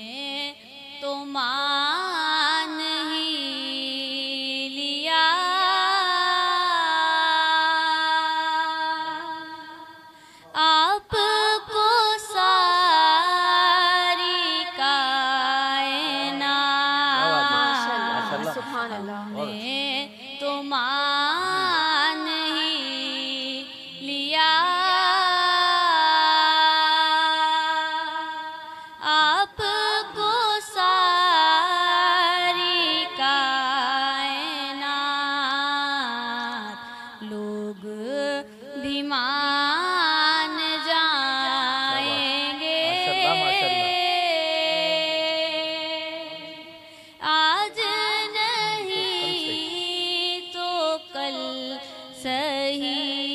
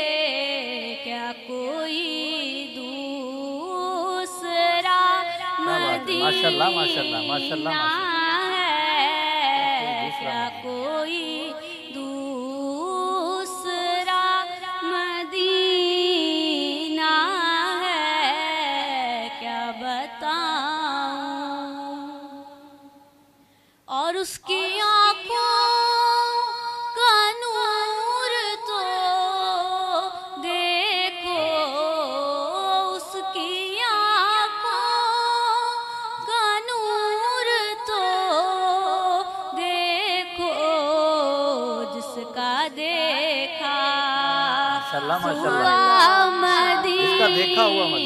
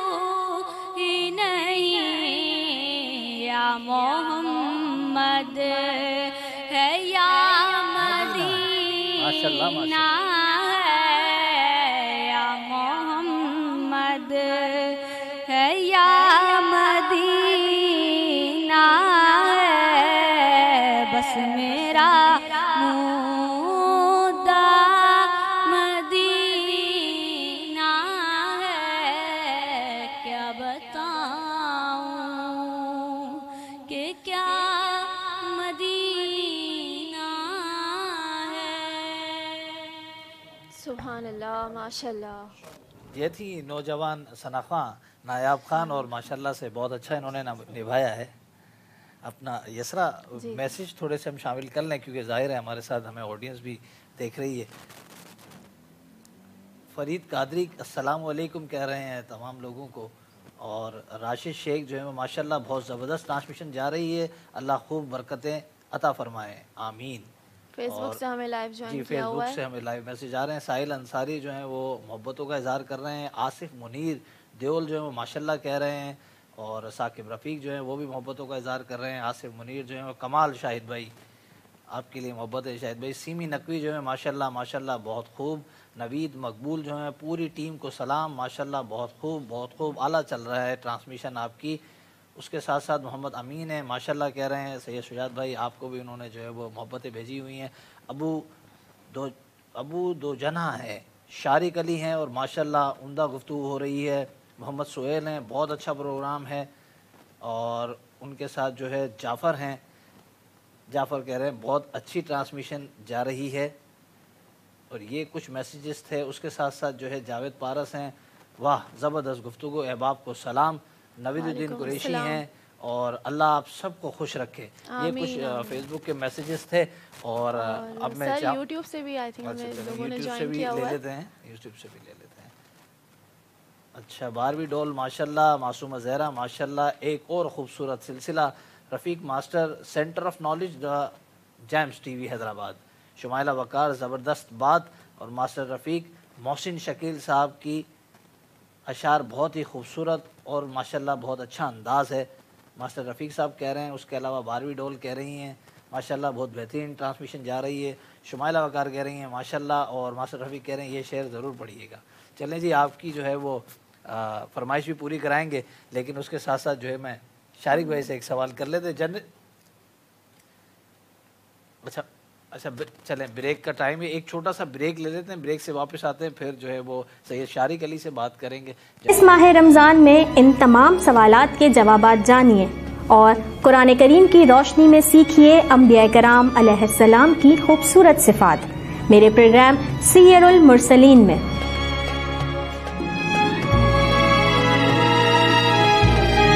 किया। या फिर वो कौन से नबी हैं जो तीन दिन और तीन रातों तक मछली के पेट में रहे? इस माह रमज़ान में इन तमाम सवाल के जवाब जानिए और कुरान करीम की रोशनी में सीखिए अम्बिया कराम की खूबसूरत सिफात। मेरे प्रोग्राम सीयरुल मुरसलीन में।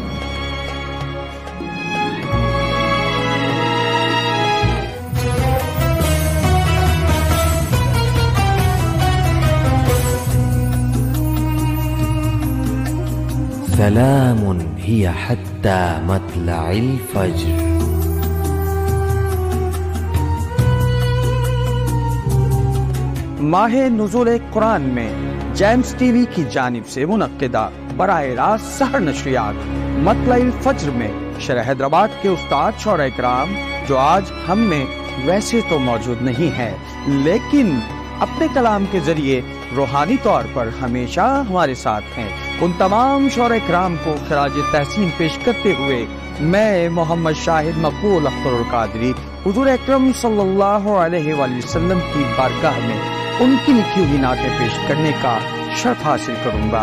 आप भी इन बाबर कसातों का हिस्सा बनिए और देखते रहिए बराह रास्त सहर नशरियात फज्र वेलकम बैक नाजरीन और आप देख रहे हैं जेम्स टीवी की खसूसी लाइव ट्रांसमिशन। मतला फज्र और हम बात कर रहे थे शारिक अली से। सैयद शारिक अली से मेरा सवाल मैंने जी, किया जी। था तो फिर वो बीच में कॉल भी आ गई थी। जनरेशन गैप के हवाले से हम बात कर रहे थे कि यूथ के अंदर और अगर हम सीनियर सिटीजन की तरफ़ जाते हैं पचास साठ साल की उम्र या उससे थोड़ा सा ऊपर जाते हैं तो एक बड़ा गैप है अंडरस्टैंडिंग का। ये कैसे दूर होगा और क्यों डेवलप होता है? साथ चलाने वाला मामला शुरू से जैसे सैयद शुजात ने कहा कि अगर आप ये शुरू से तरबियत देते जा रहे होंगे देते जा रहे होंगे तो शायद ये अंडरस्टैंडिंग आसान हो जाए। लेकिन जब ये गेप आ जाए तो, तो फिर दूर कैसे करेंगे? क्योंकि आपका एक खास काम है यूथ के ऊपर दस साल तकरीबन आपने काम किया। इस पर सबसे पहले जनरेशन गैप आता क्यों है? पहले इस पर बात जी। करते हैं। देखें जनरेशन गैप कुछ हालात ऐसे होते हैं जिसकी वजह से मुल्कों में जनरेशन गैप्स आते हैं। अब पाकिस्तान की आप माशी हालात देखें तो हर एक घर के अंदर हर एक फ़र्द सिर्फ़ ये सोचने में लगा हुआ है कि मैंने कमाना कैसे और हम्म। मैंने किस जो उसकी उम्र खेलने की होती है वो उसमें कमाने लगता है। जब वो कमाने लगता है तो उसका अपना बचपना जा चुका होता है। जब बचपना जा चुका होता है तो उसे अच्छे बुरे तमीज़ की नहीं पता होता। उसे सिर्फ़ ये पता होता है कि मैंने कमाना है मैंने अपना घर चलाना है। ऐसी बहुत सारी मिसाल हैं कि आप देखते हैं अ, कुछ राइडर्स हैं जो कम उम्र में राइडर्स कर रहे हैं जिनको तालीम हासिल करनी थी वो तालीम हासिल छोड़ के राइडर का काम कर रहे हैं। तो जनरेशन गैप किस बुनियाद पे आता है? आपके माशी हालात की वजूहत की वजह से।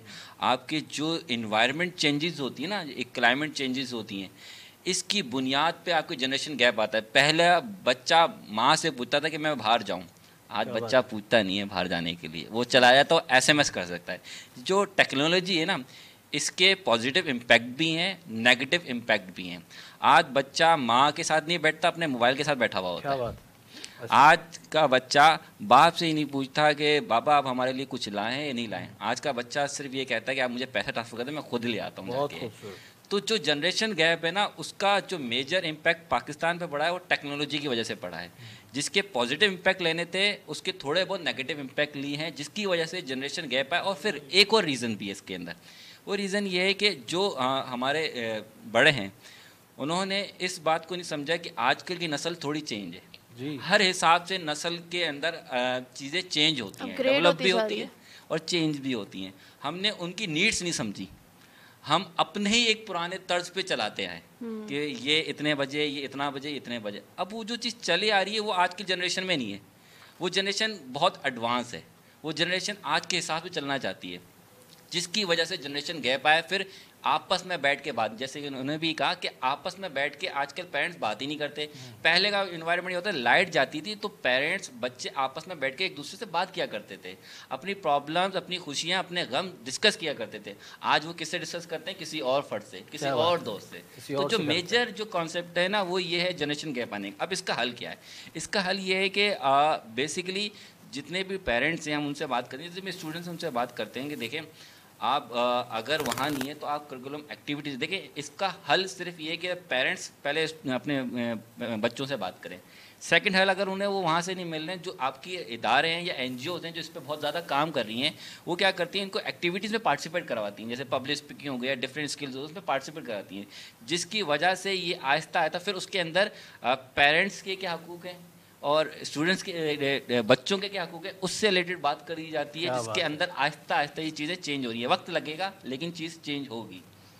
अच्छा सही शुजात जो अभी शारिक ने कही बात तो उसके साथ साथ ये ज़रूरी है सवाल कि जहाँ बच्चा ये समझ रहा है कि माँ बाप मेरी बात नहीं समझ रहे वहाँ माँ बाप भी ये समझ रहे होते हैं कि बच्चा मेरी बात नहीं समझ रहा है बच्चा हमारी बात नहीं समझ रहा। वो जो माशरे के बदलाव हैं उसका उस बच्चे को तो इल्म है शायद लेकिन बच्चा ये समझ रहा होता है कि माँ बाप को तो उस माशरे की अपग्रेडेशन का पता ही नहीं है कि क्या कितना अपग्रेड हमने कर लिया है या हम कितनी तेज़ी से माशरे के अंदर तब्दीलियाँ ला रहे हैं जिसका असर मेरे ऊपर हो रहा है और मेरे माँ बाप पर नहीं हो रहा है। तो इस बारे में आपका क्या कहना है?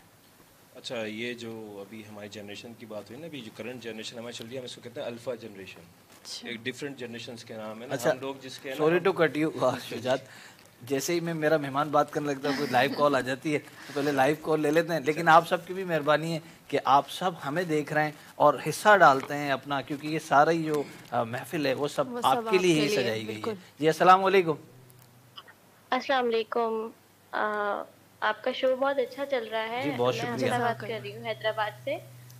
और पर्सनली ये टाइम जो होता है शहरी का टाइम जब तक बारह से लेके तीन बजे तक तो ये जो टाइम है और इस टाइम में जो आप लोगों ने टॉपिक्स रखे हैं उसके लिए मैं आप लोगों को काफ़ी अप्रिशिएट करती हूँ क्योंकि ये इन टॉपिक्स को हम हम हमें काफ़ी ज़रूरत है न्यू जनरेशन को और पेरेंट्स को स्पेशली बहुत ज़रूरत है।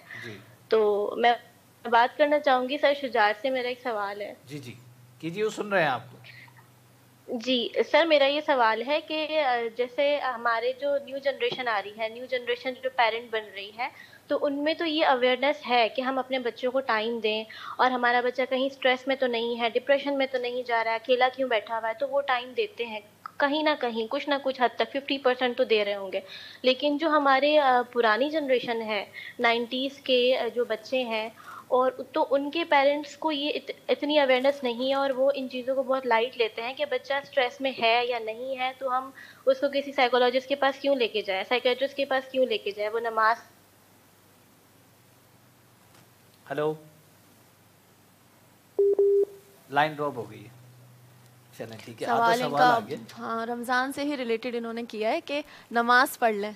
साइकेट्रिस्ट के पास क्यों जाए? चलें ठीक है। ये सवाल और आपका वाला सवाल हो कदर मुश्तरक नहीं है एक ही जैसे हैं तकरीबन एक ही जैसा अच्छा मैं बात कर रहा था कि जनरेशन ना तो ये जो भी करंट जनरेशन है ना ये अल्फ़ा जनरेशन है। अच्छा अल्फ़ा जनरेशन कौन सी है जिसने स्टार्ट ही जो है ना टेक्नोलॉजी के साथ की हम्म। कि ये गूगल क्लासरूम चल रहे हैं और ये सोशल मीडिया ये तमाम जनरेशन जो है ना इस ये एक्टिविटीज़ में इन्वॉल्व है। अच्छा ये जो क्वेश्चन है कि 90s वाले जो हैं चलिए ये जो 90s के पेरेंट्स हैं और जो नए पेरेंट्स हैं। मसला ये है कि वो जो नए पेरेंट्स बन रहे हैं ना बच्चा उनके साथ थोड़ा बहुत इसलिए ज़्यादा फैमिलियर या बच्चा उसके साथ अंडरस्टैंडिंग इसलिए ज़्यादा डेवलप हुई हुई है कि नए वाले पेरेंट ने टेक्नोलॉजी को अडॉप्ट किया है अब बच्चा समझ रहा है कि हाँ ये वो पेरेंट है जो मेरी तरह है ये टेक्नोलॉजी मेरी तरह स्मार्टफ़ोन यूज़ कर रहा है वो लैपटॉप यूज़ कर रहा है वो सोशल मीडिया पे उसका अकाउंट्स बने हुए हैं वो तमाम चीज़ों के साथ अवेयर है तो इसको पता है कि दुनिया में चल क्या रहा है अब एक पेरेंट है जो नाइन्टीज़ के उनके बच्चे हैं। मतलब कि वो खुद सेवेंटीज़ या सिक्सटीज़ के हैं या शायद इससे भी पुराने हैं। या एटीज़ के उनके बच्चे हैं। हाँ या एटीज़ या नाइन्टीज़ के उनके बच्चे हैं। तो अब उस पेरेंट को थोड़ी सी मुश्किल है इस तरह की टेक्नोलॉजी के साथ फैमिलियर होने में।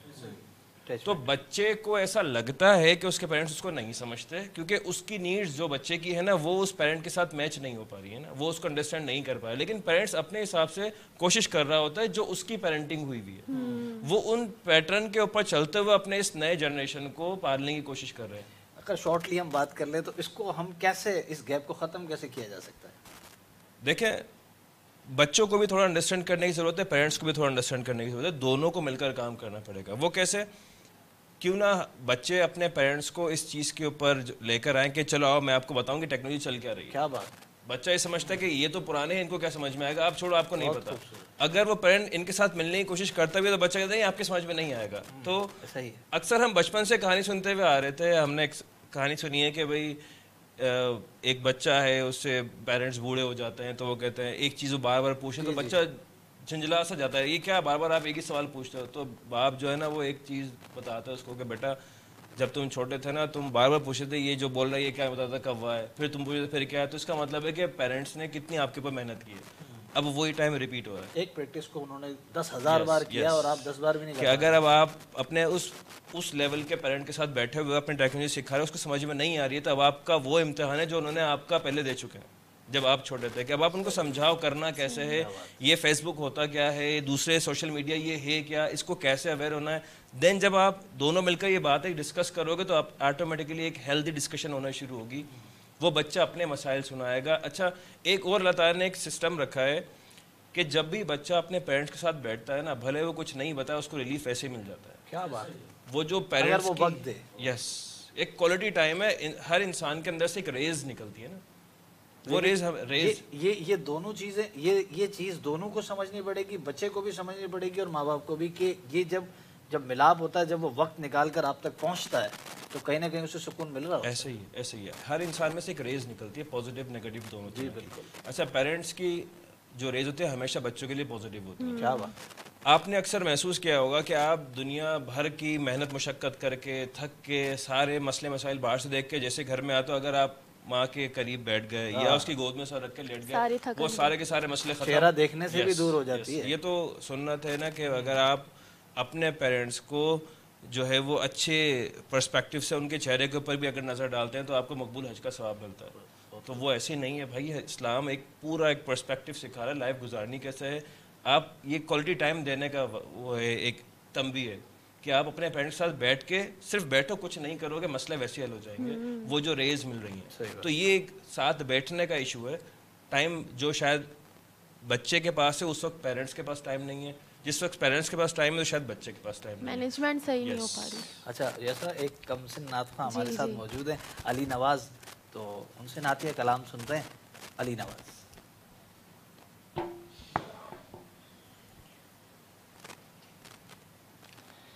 सल्लल्लाहु अलैहि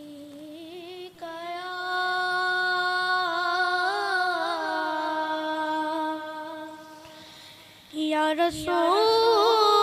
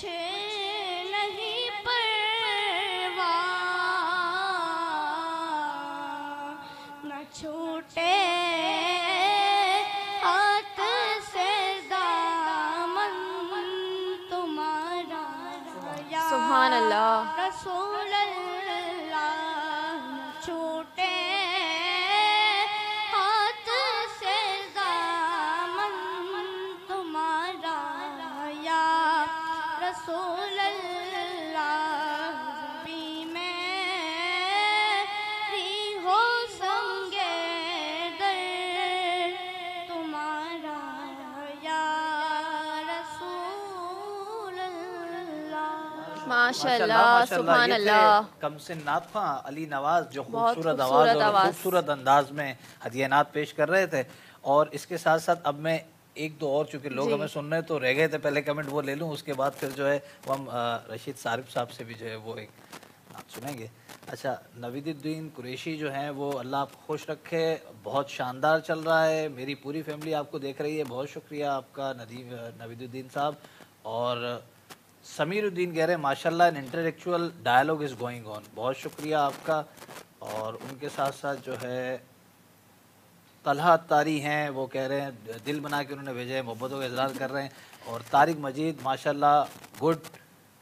और उसके बाद सैयद हसन अली कादरी हैं, वो भी कह रहे हैं, माशाल्लाह। बहुत शुक्रिया आप सबका। और अब मैं चाहूँगा कि सर की तरफ़ भी जाया जाए माइक दे दीजिए रशीद सारिफ साहब से।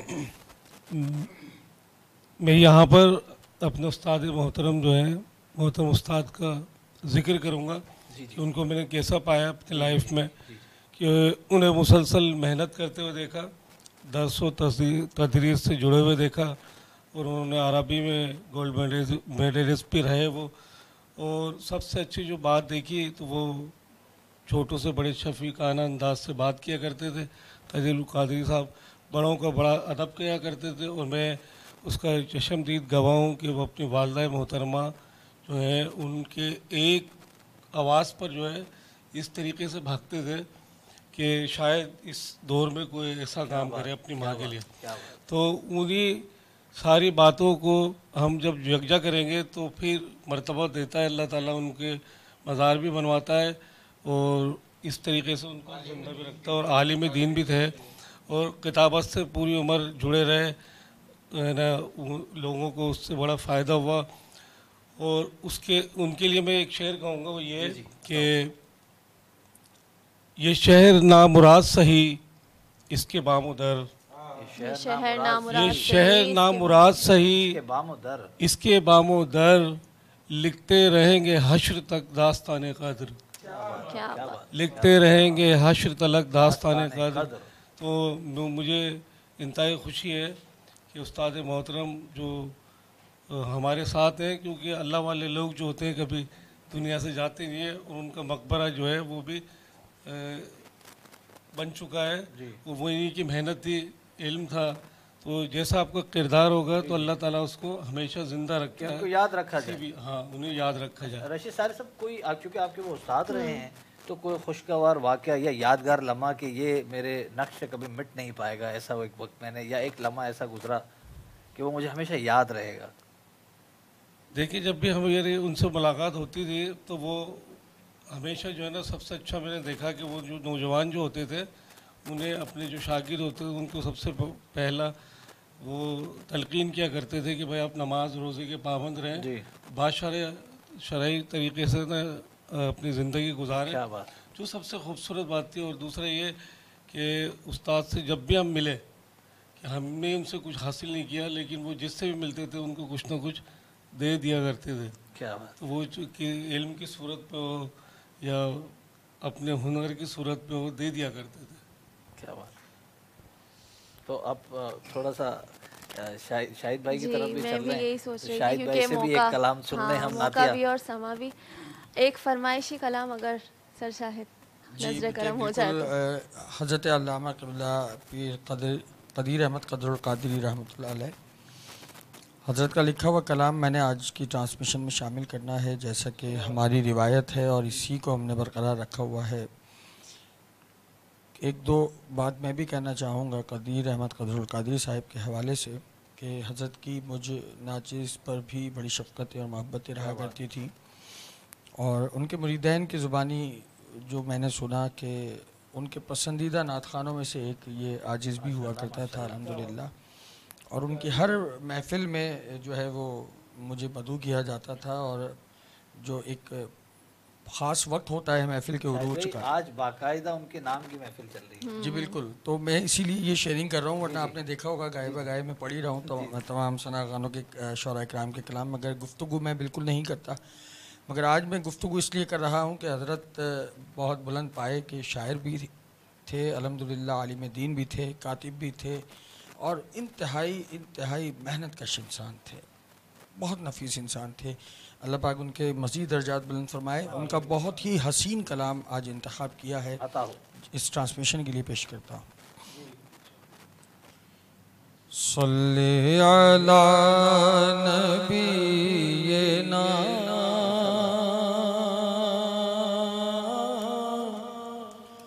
अला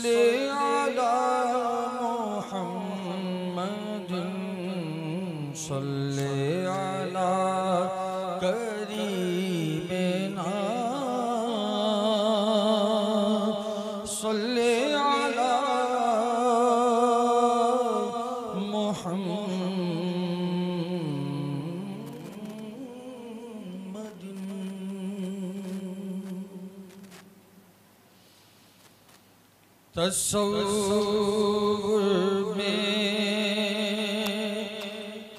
जमाल मुस्तफ़ा आया है बेपर्दा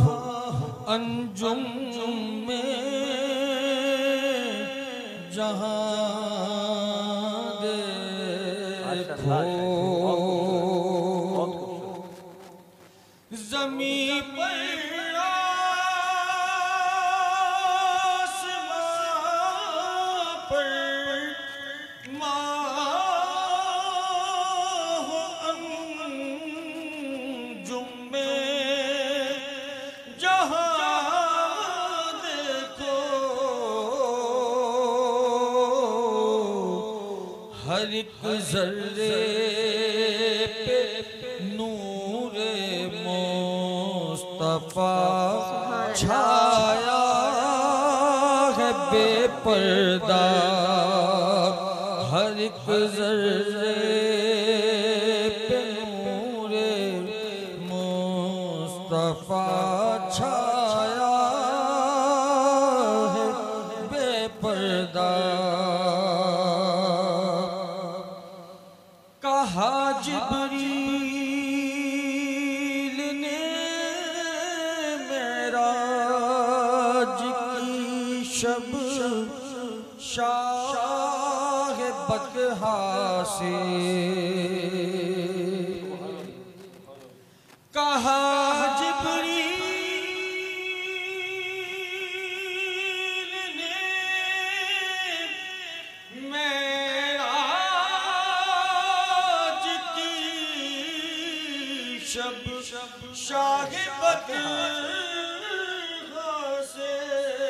अल्लाह सुबह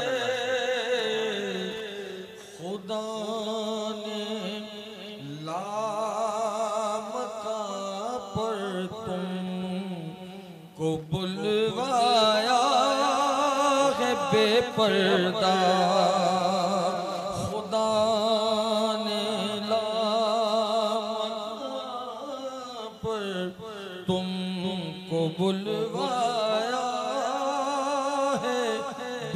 पर्दा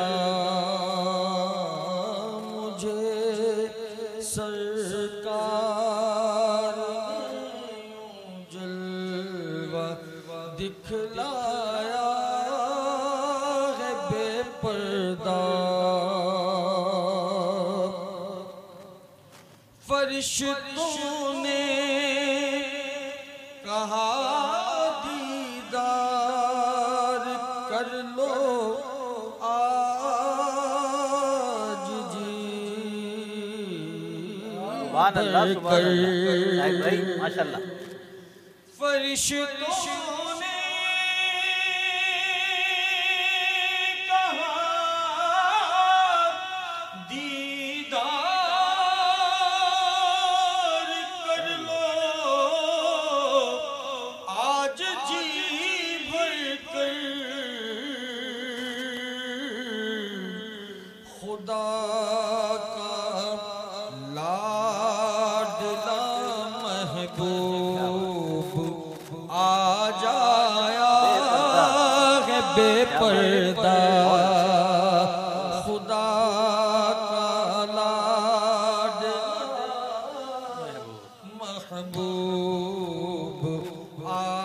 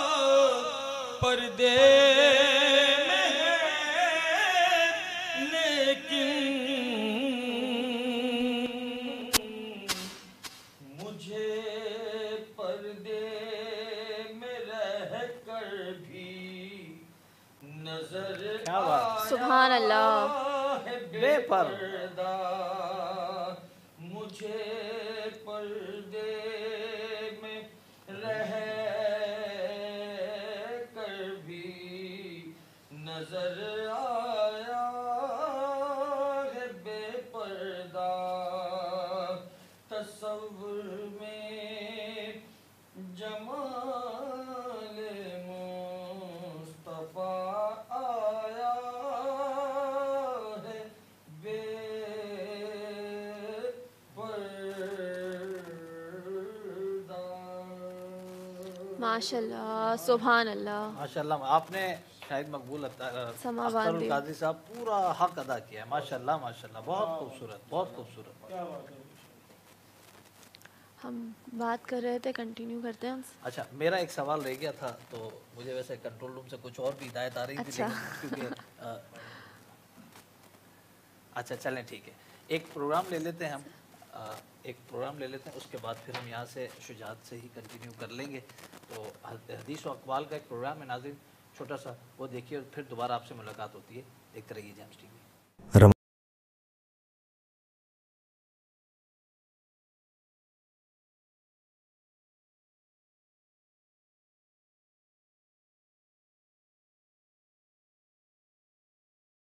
रमज़ान स्नो साहबा हुआ कर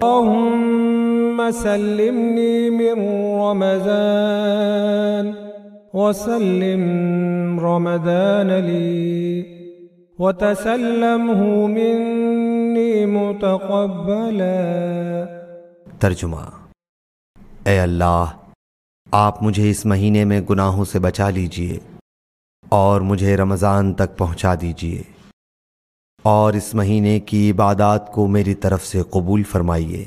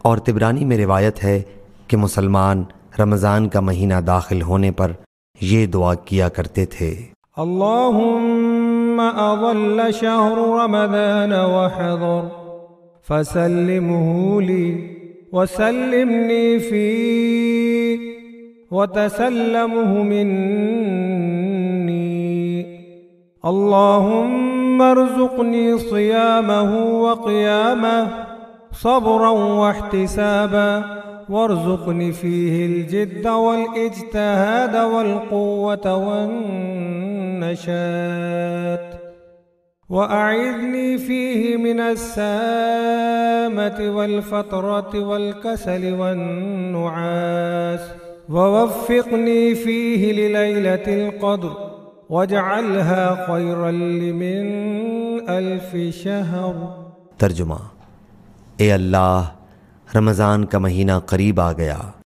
बस आप इस महीने को मेरी सलामती का ज़रिया बनाइए और मुझे इस महीने में गुनाहों से महफूज फरमाइए और मेरी तरफ़ से इसे सलामती वाला बनाइए।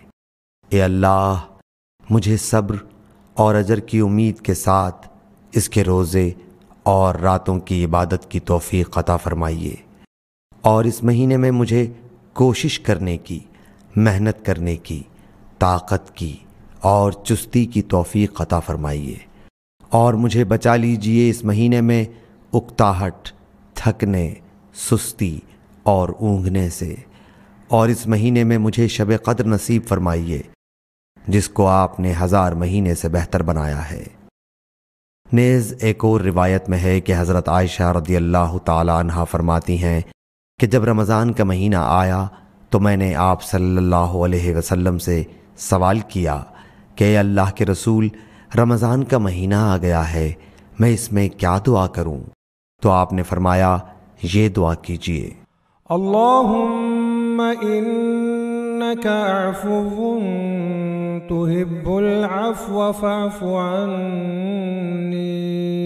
तर्जुमा अल्लाह तू माफ़ करने वाला है मुआफ़ी को पसंद करता है, बस मुझे माफ़ फरमा दे एक और हदीस में है कि हज़रत आयशा रदी अल्लाह अनहा ने रसूल अल्लाह सल्लल्लाहु अलैहि वसल्लम से पूछा कि अगर मुझे लैलतुल कद्र का इल्म हो जाए कि फ़लाँ रात है तो मैं इसमें क्या दुआ करूँ?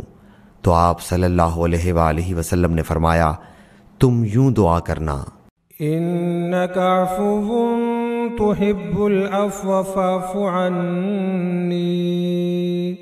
नेज़ हदीस मुबारक की रूह से रमज़ानुल मुबारक का पहला आशरा नजूल रहमत का वक्त दूसरा आशरा बेबहा मगफरत का वक्त और आखिरी अशरा आग से खुलासी का वक्त है बेहकीफ़ी शाबल ईमान इस मुनासिबत से बाज़ बुज़ुर्गों ने अवामनास की सहूलत के लिए तीनों अशरों की मुनासिबत से मुख्तलिफ अदिया के अल्फाज बयान किए हैं पहले अशरे में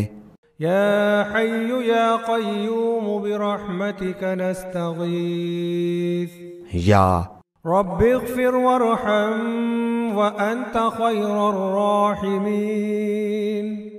दूसरे अशरे में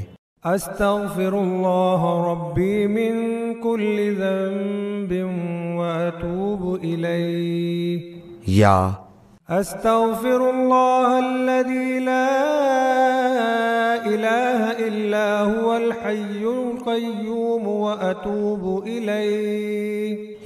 या अस्तगफार के दीगर कलिमात और तीसरे में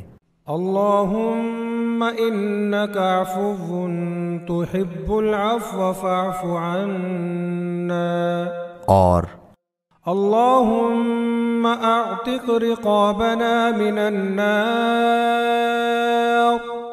का अहतमाम बाज़ बुज़ुर्गों से मनकूल है नेज़ पूरे रमज़ानुल मुबारक में चार चीज़ों की कसरत का हदीस शरीफ में ज़िक्र आया है नंबर एक कलमा तोहीद की शहादत नंबर दो अस्तगफार नंबर तीन जन्नत का सवाल नंबर चार जहन्नुम से पनाह इन चार चीज़ों को दर्जेल कलमात में जमा कर दिया गया है। इनके पढ़ने का भी अहतमाम करना चाहिए।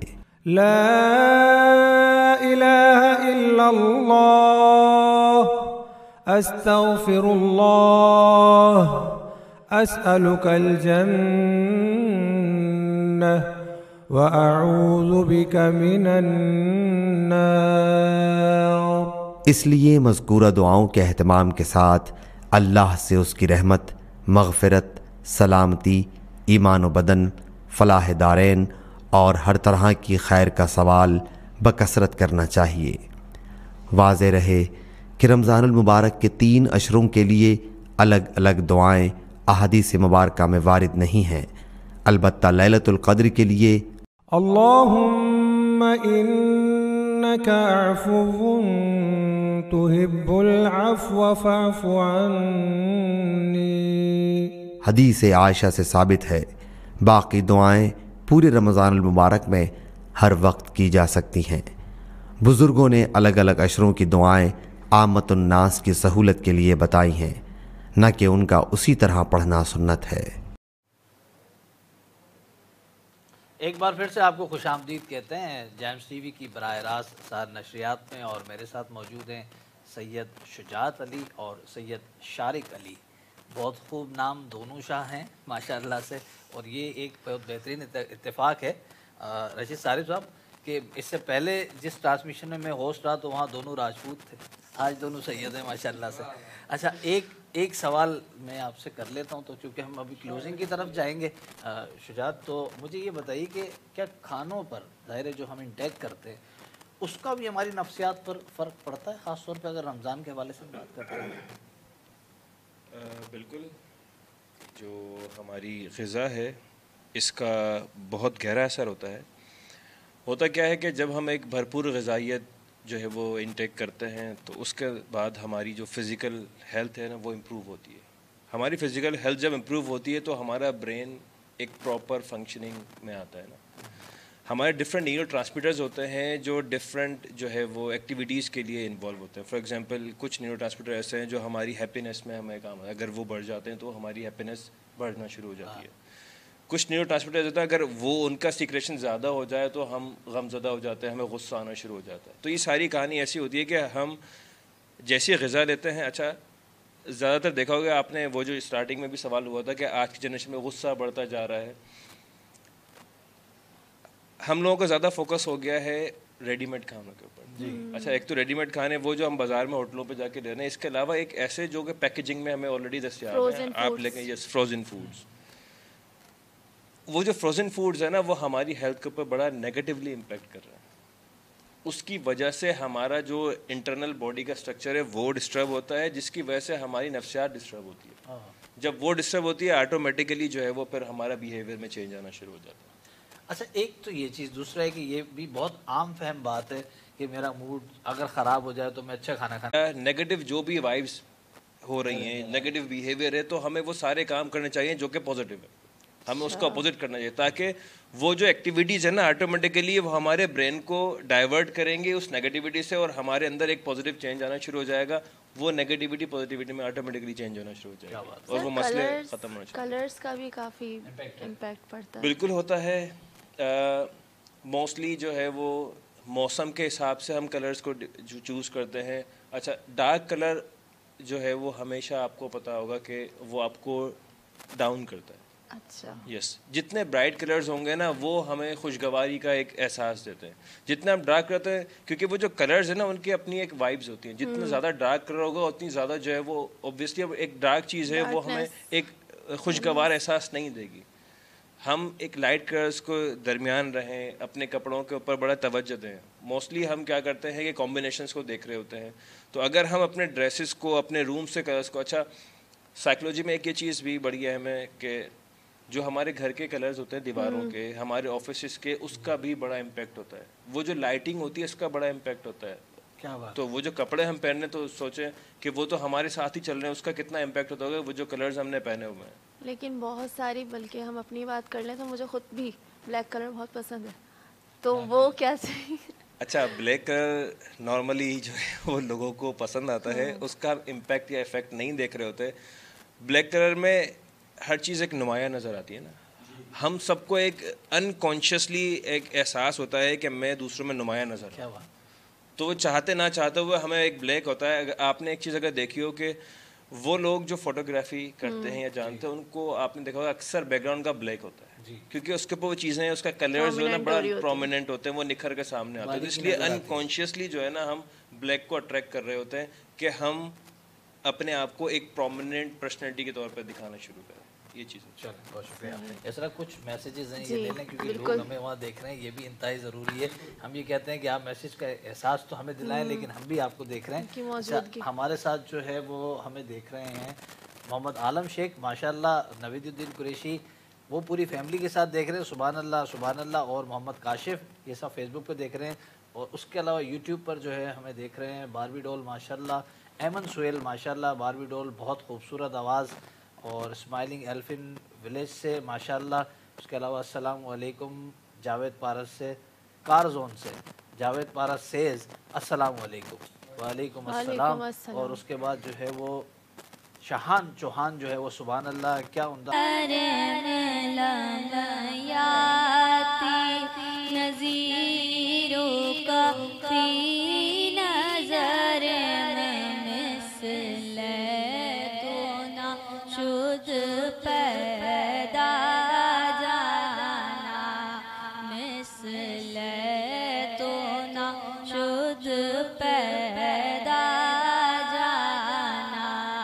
जग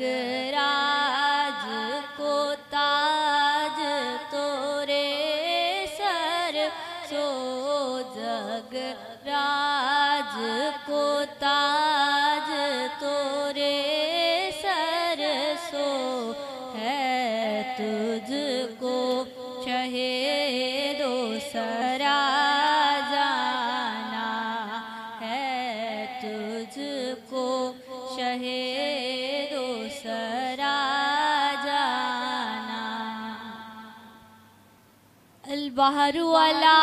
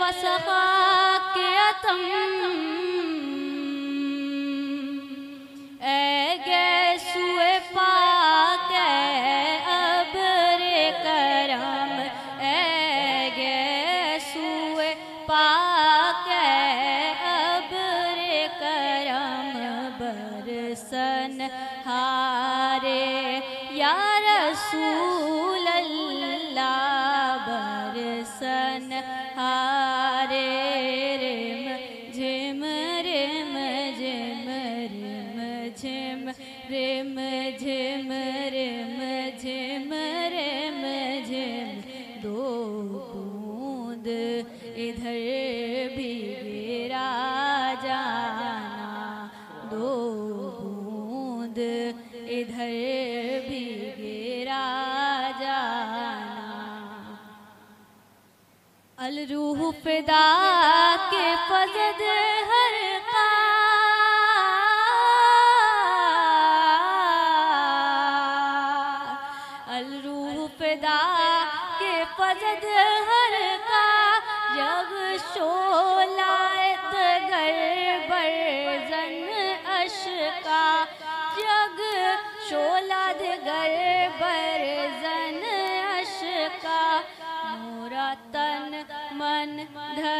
या रसूल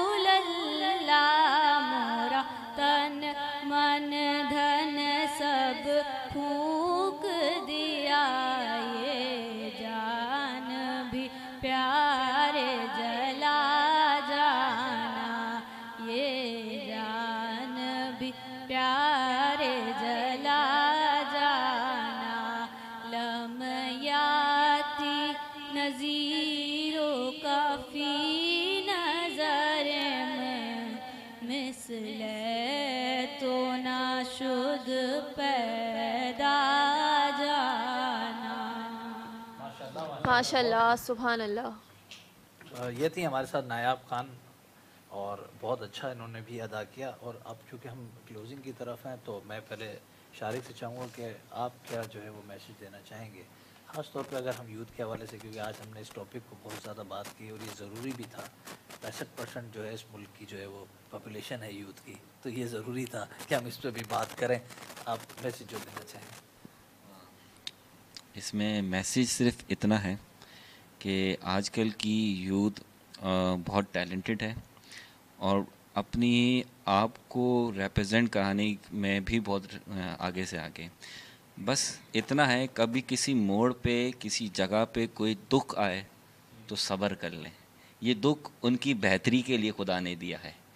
और आज अगर वो इस चीज़ को समझ जाएँगे कि ये हमारे हक में बेहतर नहीं था शायद अल्लाह ने इससे हमें और बेहतर दिया है तो सारे मसलों आपके खुद ब खुद हल हो जाएँगे। मुश्किल ज़िंदगी में आती हैं लेकिन मुश्किल को जो संभालता है जो झेलता है वही नैया पार लगाता है। और आखिर में बस इतना ही कहूँगा कि देखें आ, किसी भी मुल्क में आप चले जाएँ हर मुल्क में मुश्किल हैं। वहाँ की यूथ कुछ ना कुछ फेस कर रही है। लेकिन उनमें और हम में एक चीज़ पॉजिटिव पता है क्या है? हमारी यूथ हर हाल के अंदर ना पॉजिटिव है। हर सिचुएशन के अंदर हर इश्यूज़ के अंदर पॉजिटिव है। और ये एक चीज़ अच्छा है साइन है। और मैं यही कहूँगा कि इसी पॉजिटिविटी को आगे लेके चलते रहें। बहुत खूब बहुत खूब। सैयद शुजात अली आप भी जो मैसेज देना चाहें। अ, मेरा छोटा सा मैसेज है जहाँ तक पहुँच सके। ठीक है। कुछ नहीं करें सिर्फ़ अपने आप से सच्चे हो जाए। क्या बात है। क्या अब बात वो अपने आप से सच्चा होना है क्या? आपने यूथ की स्पेशली बात की। यूथ जो अभी करंट हमारी है वो करती क्या है? आज उसका एक गोल है चार दिन के बाद उसका गोल दूसरा है एक हफ़्ते के बाद तीसरा गोल एक महीने के बाद कुछ और गोल उसको पता ही नहीं करना क्या। कंफ्यूज है। तो वो अपने आप का एक गोल सेट करें। उसके बाद अपने आप से सच्चे हो जाएँ कि मैंने इस चीज़ को अचीव करना है अब ऑटोमेटिकली रास्ते खुलना शुरू हो जाएँगे। हम्म। होता क्या है कि उन्होंने गोल सेट किया रास्ते नहीं मिले गोल चेंज कर लिया बजाय इसके कि रास्ता चेंज करें कि वो रास्ता ढूंढे कि उस गोल तक वो पहुंचाएगा यस गोल सेम रखे। ताकि वो जो आप एफर्ट कर रहे हो आप गोल चेंज करते जा रहे हो आपके एफर्ट ज़ाया होते जा रहे हैं। जब बल्ब बना था 99 एक्सपेरिमेंट फेल हुए थे तो जाके सोवा एक्सपेरिमेंट कामयाब बल्ब बनाना तो- ना छोड़ा। बनाना नहीं छोड़ा उसने। नब्बे गलतियाँ करने के बाद सौवीं जगह वो कामयाब हो गया। मेहनत। यस हम क्या कर रहे हैं? या हमारी यूथ क्या कर रही है? गोल चेंज करते जा रही है बजाय इसके कि न्यू वेज तलाश करे कि उस गोल को अचीव कैसे करना है बहुत शुक्रिया अच्छी बात इन्होंने की। रशीद सारिफ साहब से भी मैसेज ले लीजिए। मेरे तमाम सुनने वाले जो सामीन है वो नौजवान है खसूस वो सीरत नबी सल्लल्लाहु अलैहि वसल्लम को अपनाएँ। और इन ताला तमाम जो हल है ज़िंदगी का उसी में पोशीदा है और आपकी जिंद, अपनी ज़िंदगी को गुलाब की तरह बना लें कि वो आपकी खुशियों में भी आपके साथ होता है और आपके मरने के बाद भी आपके साथ होता है।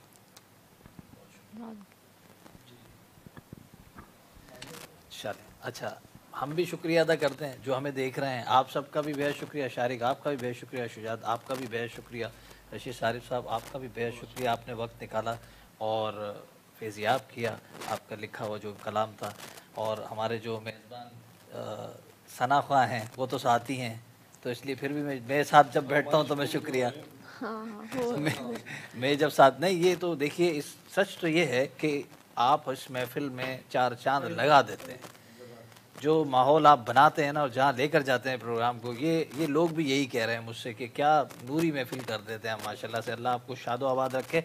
नाजिन आप सबका भी बेहद शुक्रिया कि आप हम सबको पसंद करते हैं और जेम्स टीवी को पसंद करते हैं। ये सारी काविशें आपके लिए ही की जा रही होती हैं कि आप तक अच्छा कंटेंट हम पहुँचा सकें। आज जो दो एक्सपर्ट बुलाए गए थे, माहिर नफ्सियात और माहिर तालीम, उनको बुलाने का मकसद भी यही था कि अच्छी बात या अच्छे जवाब हम उनसे ले सकें। कुछ आपके सवाल थे, कुछ हमारे सवाल थे, कुछ उलझने थी, जिनको हमने सुलझाने की कोशिश की, जिन पर बात करने की कोशिश की।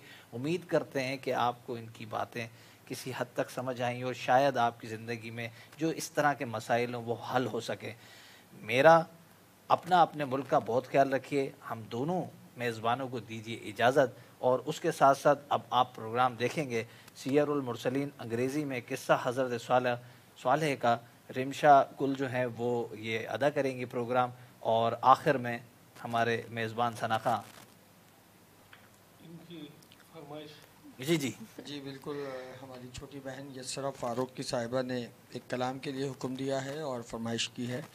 तो इसे शामिल ट्रांसमिशन करते हैं। बहुत हसीन कलाम है खूबसूरत कलाम है और आपसे इजाज़त लेते हैं। ओ दो देता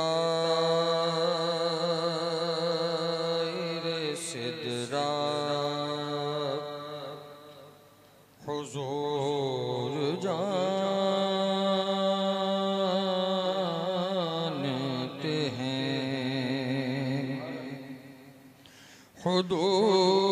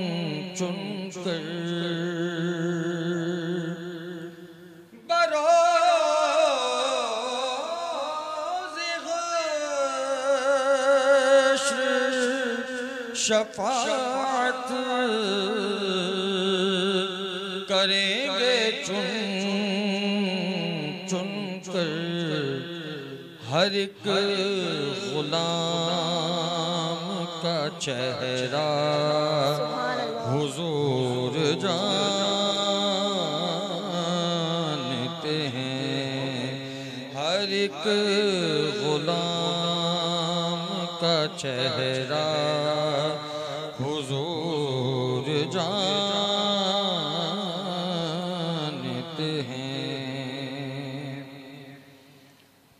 पहुँच के सिद्ध रबे रूहुल अम्मी ये कहने लगे। पहुँच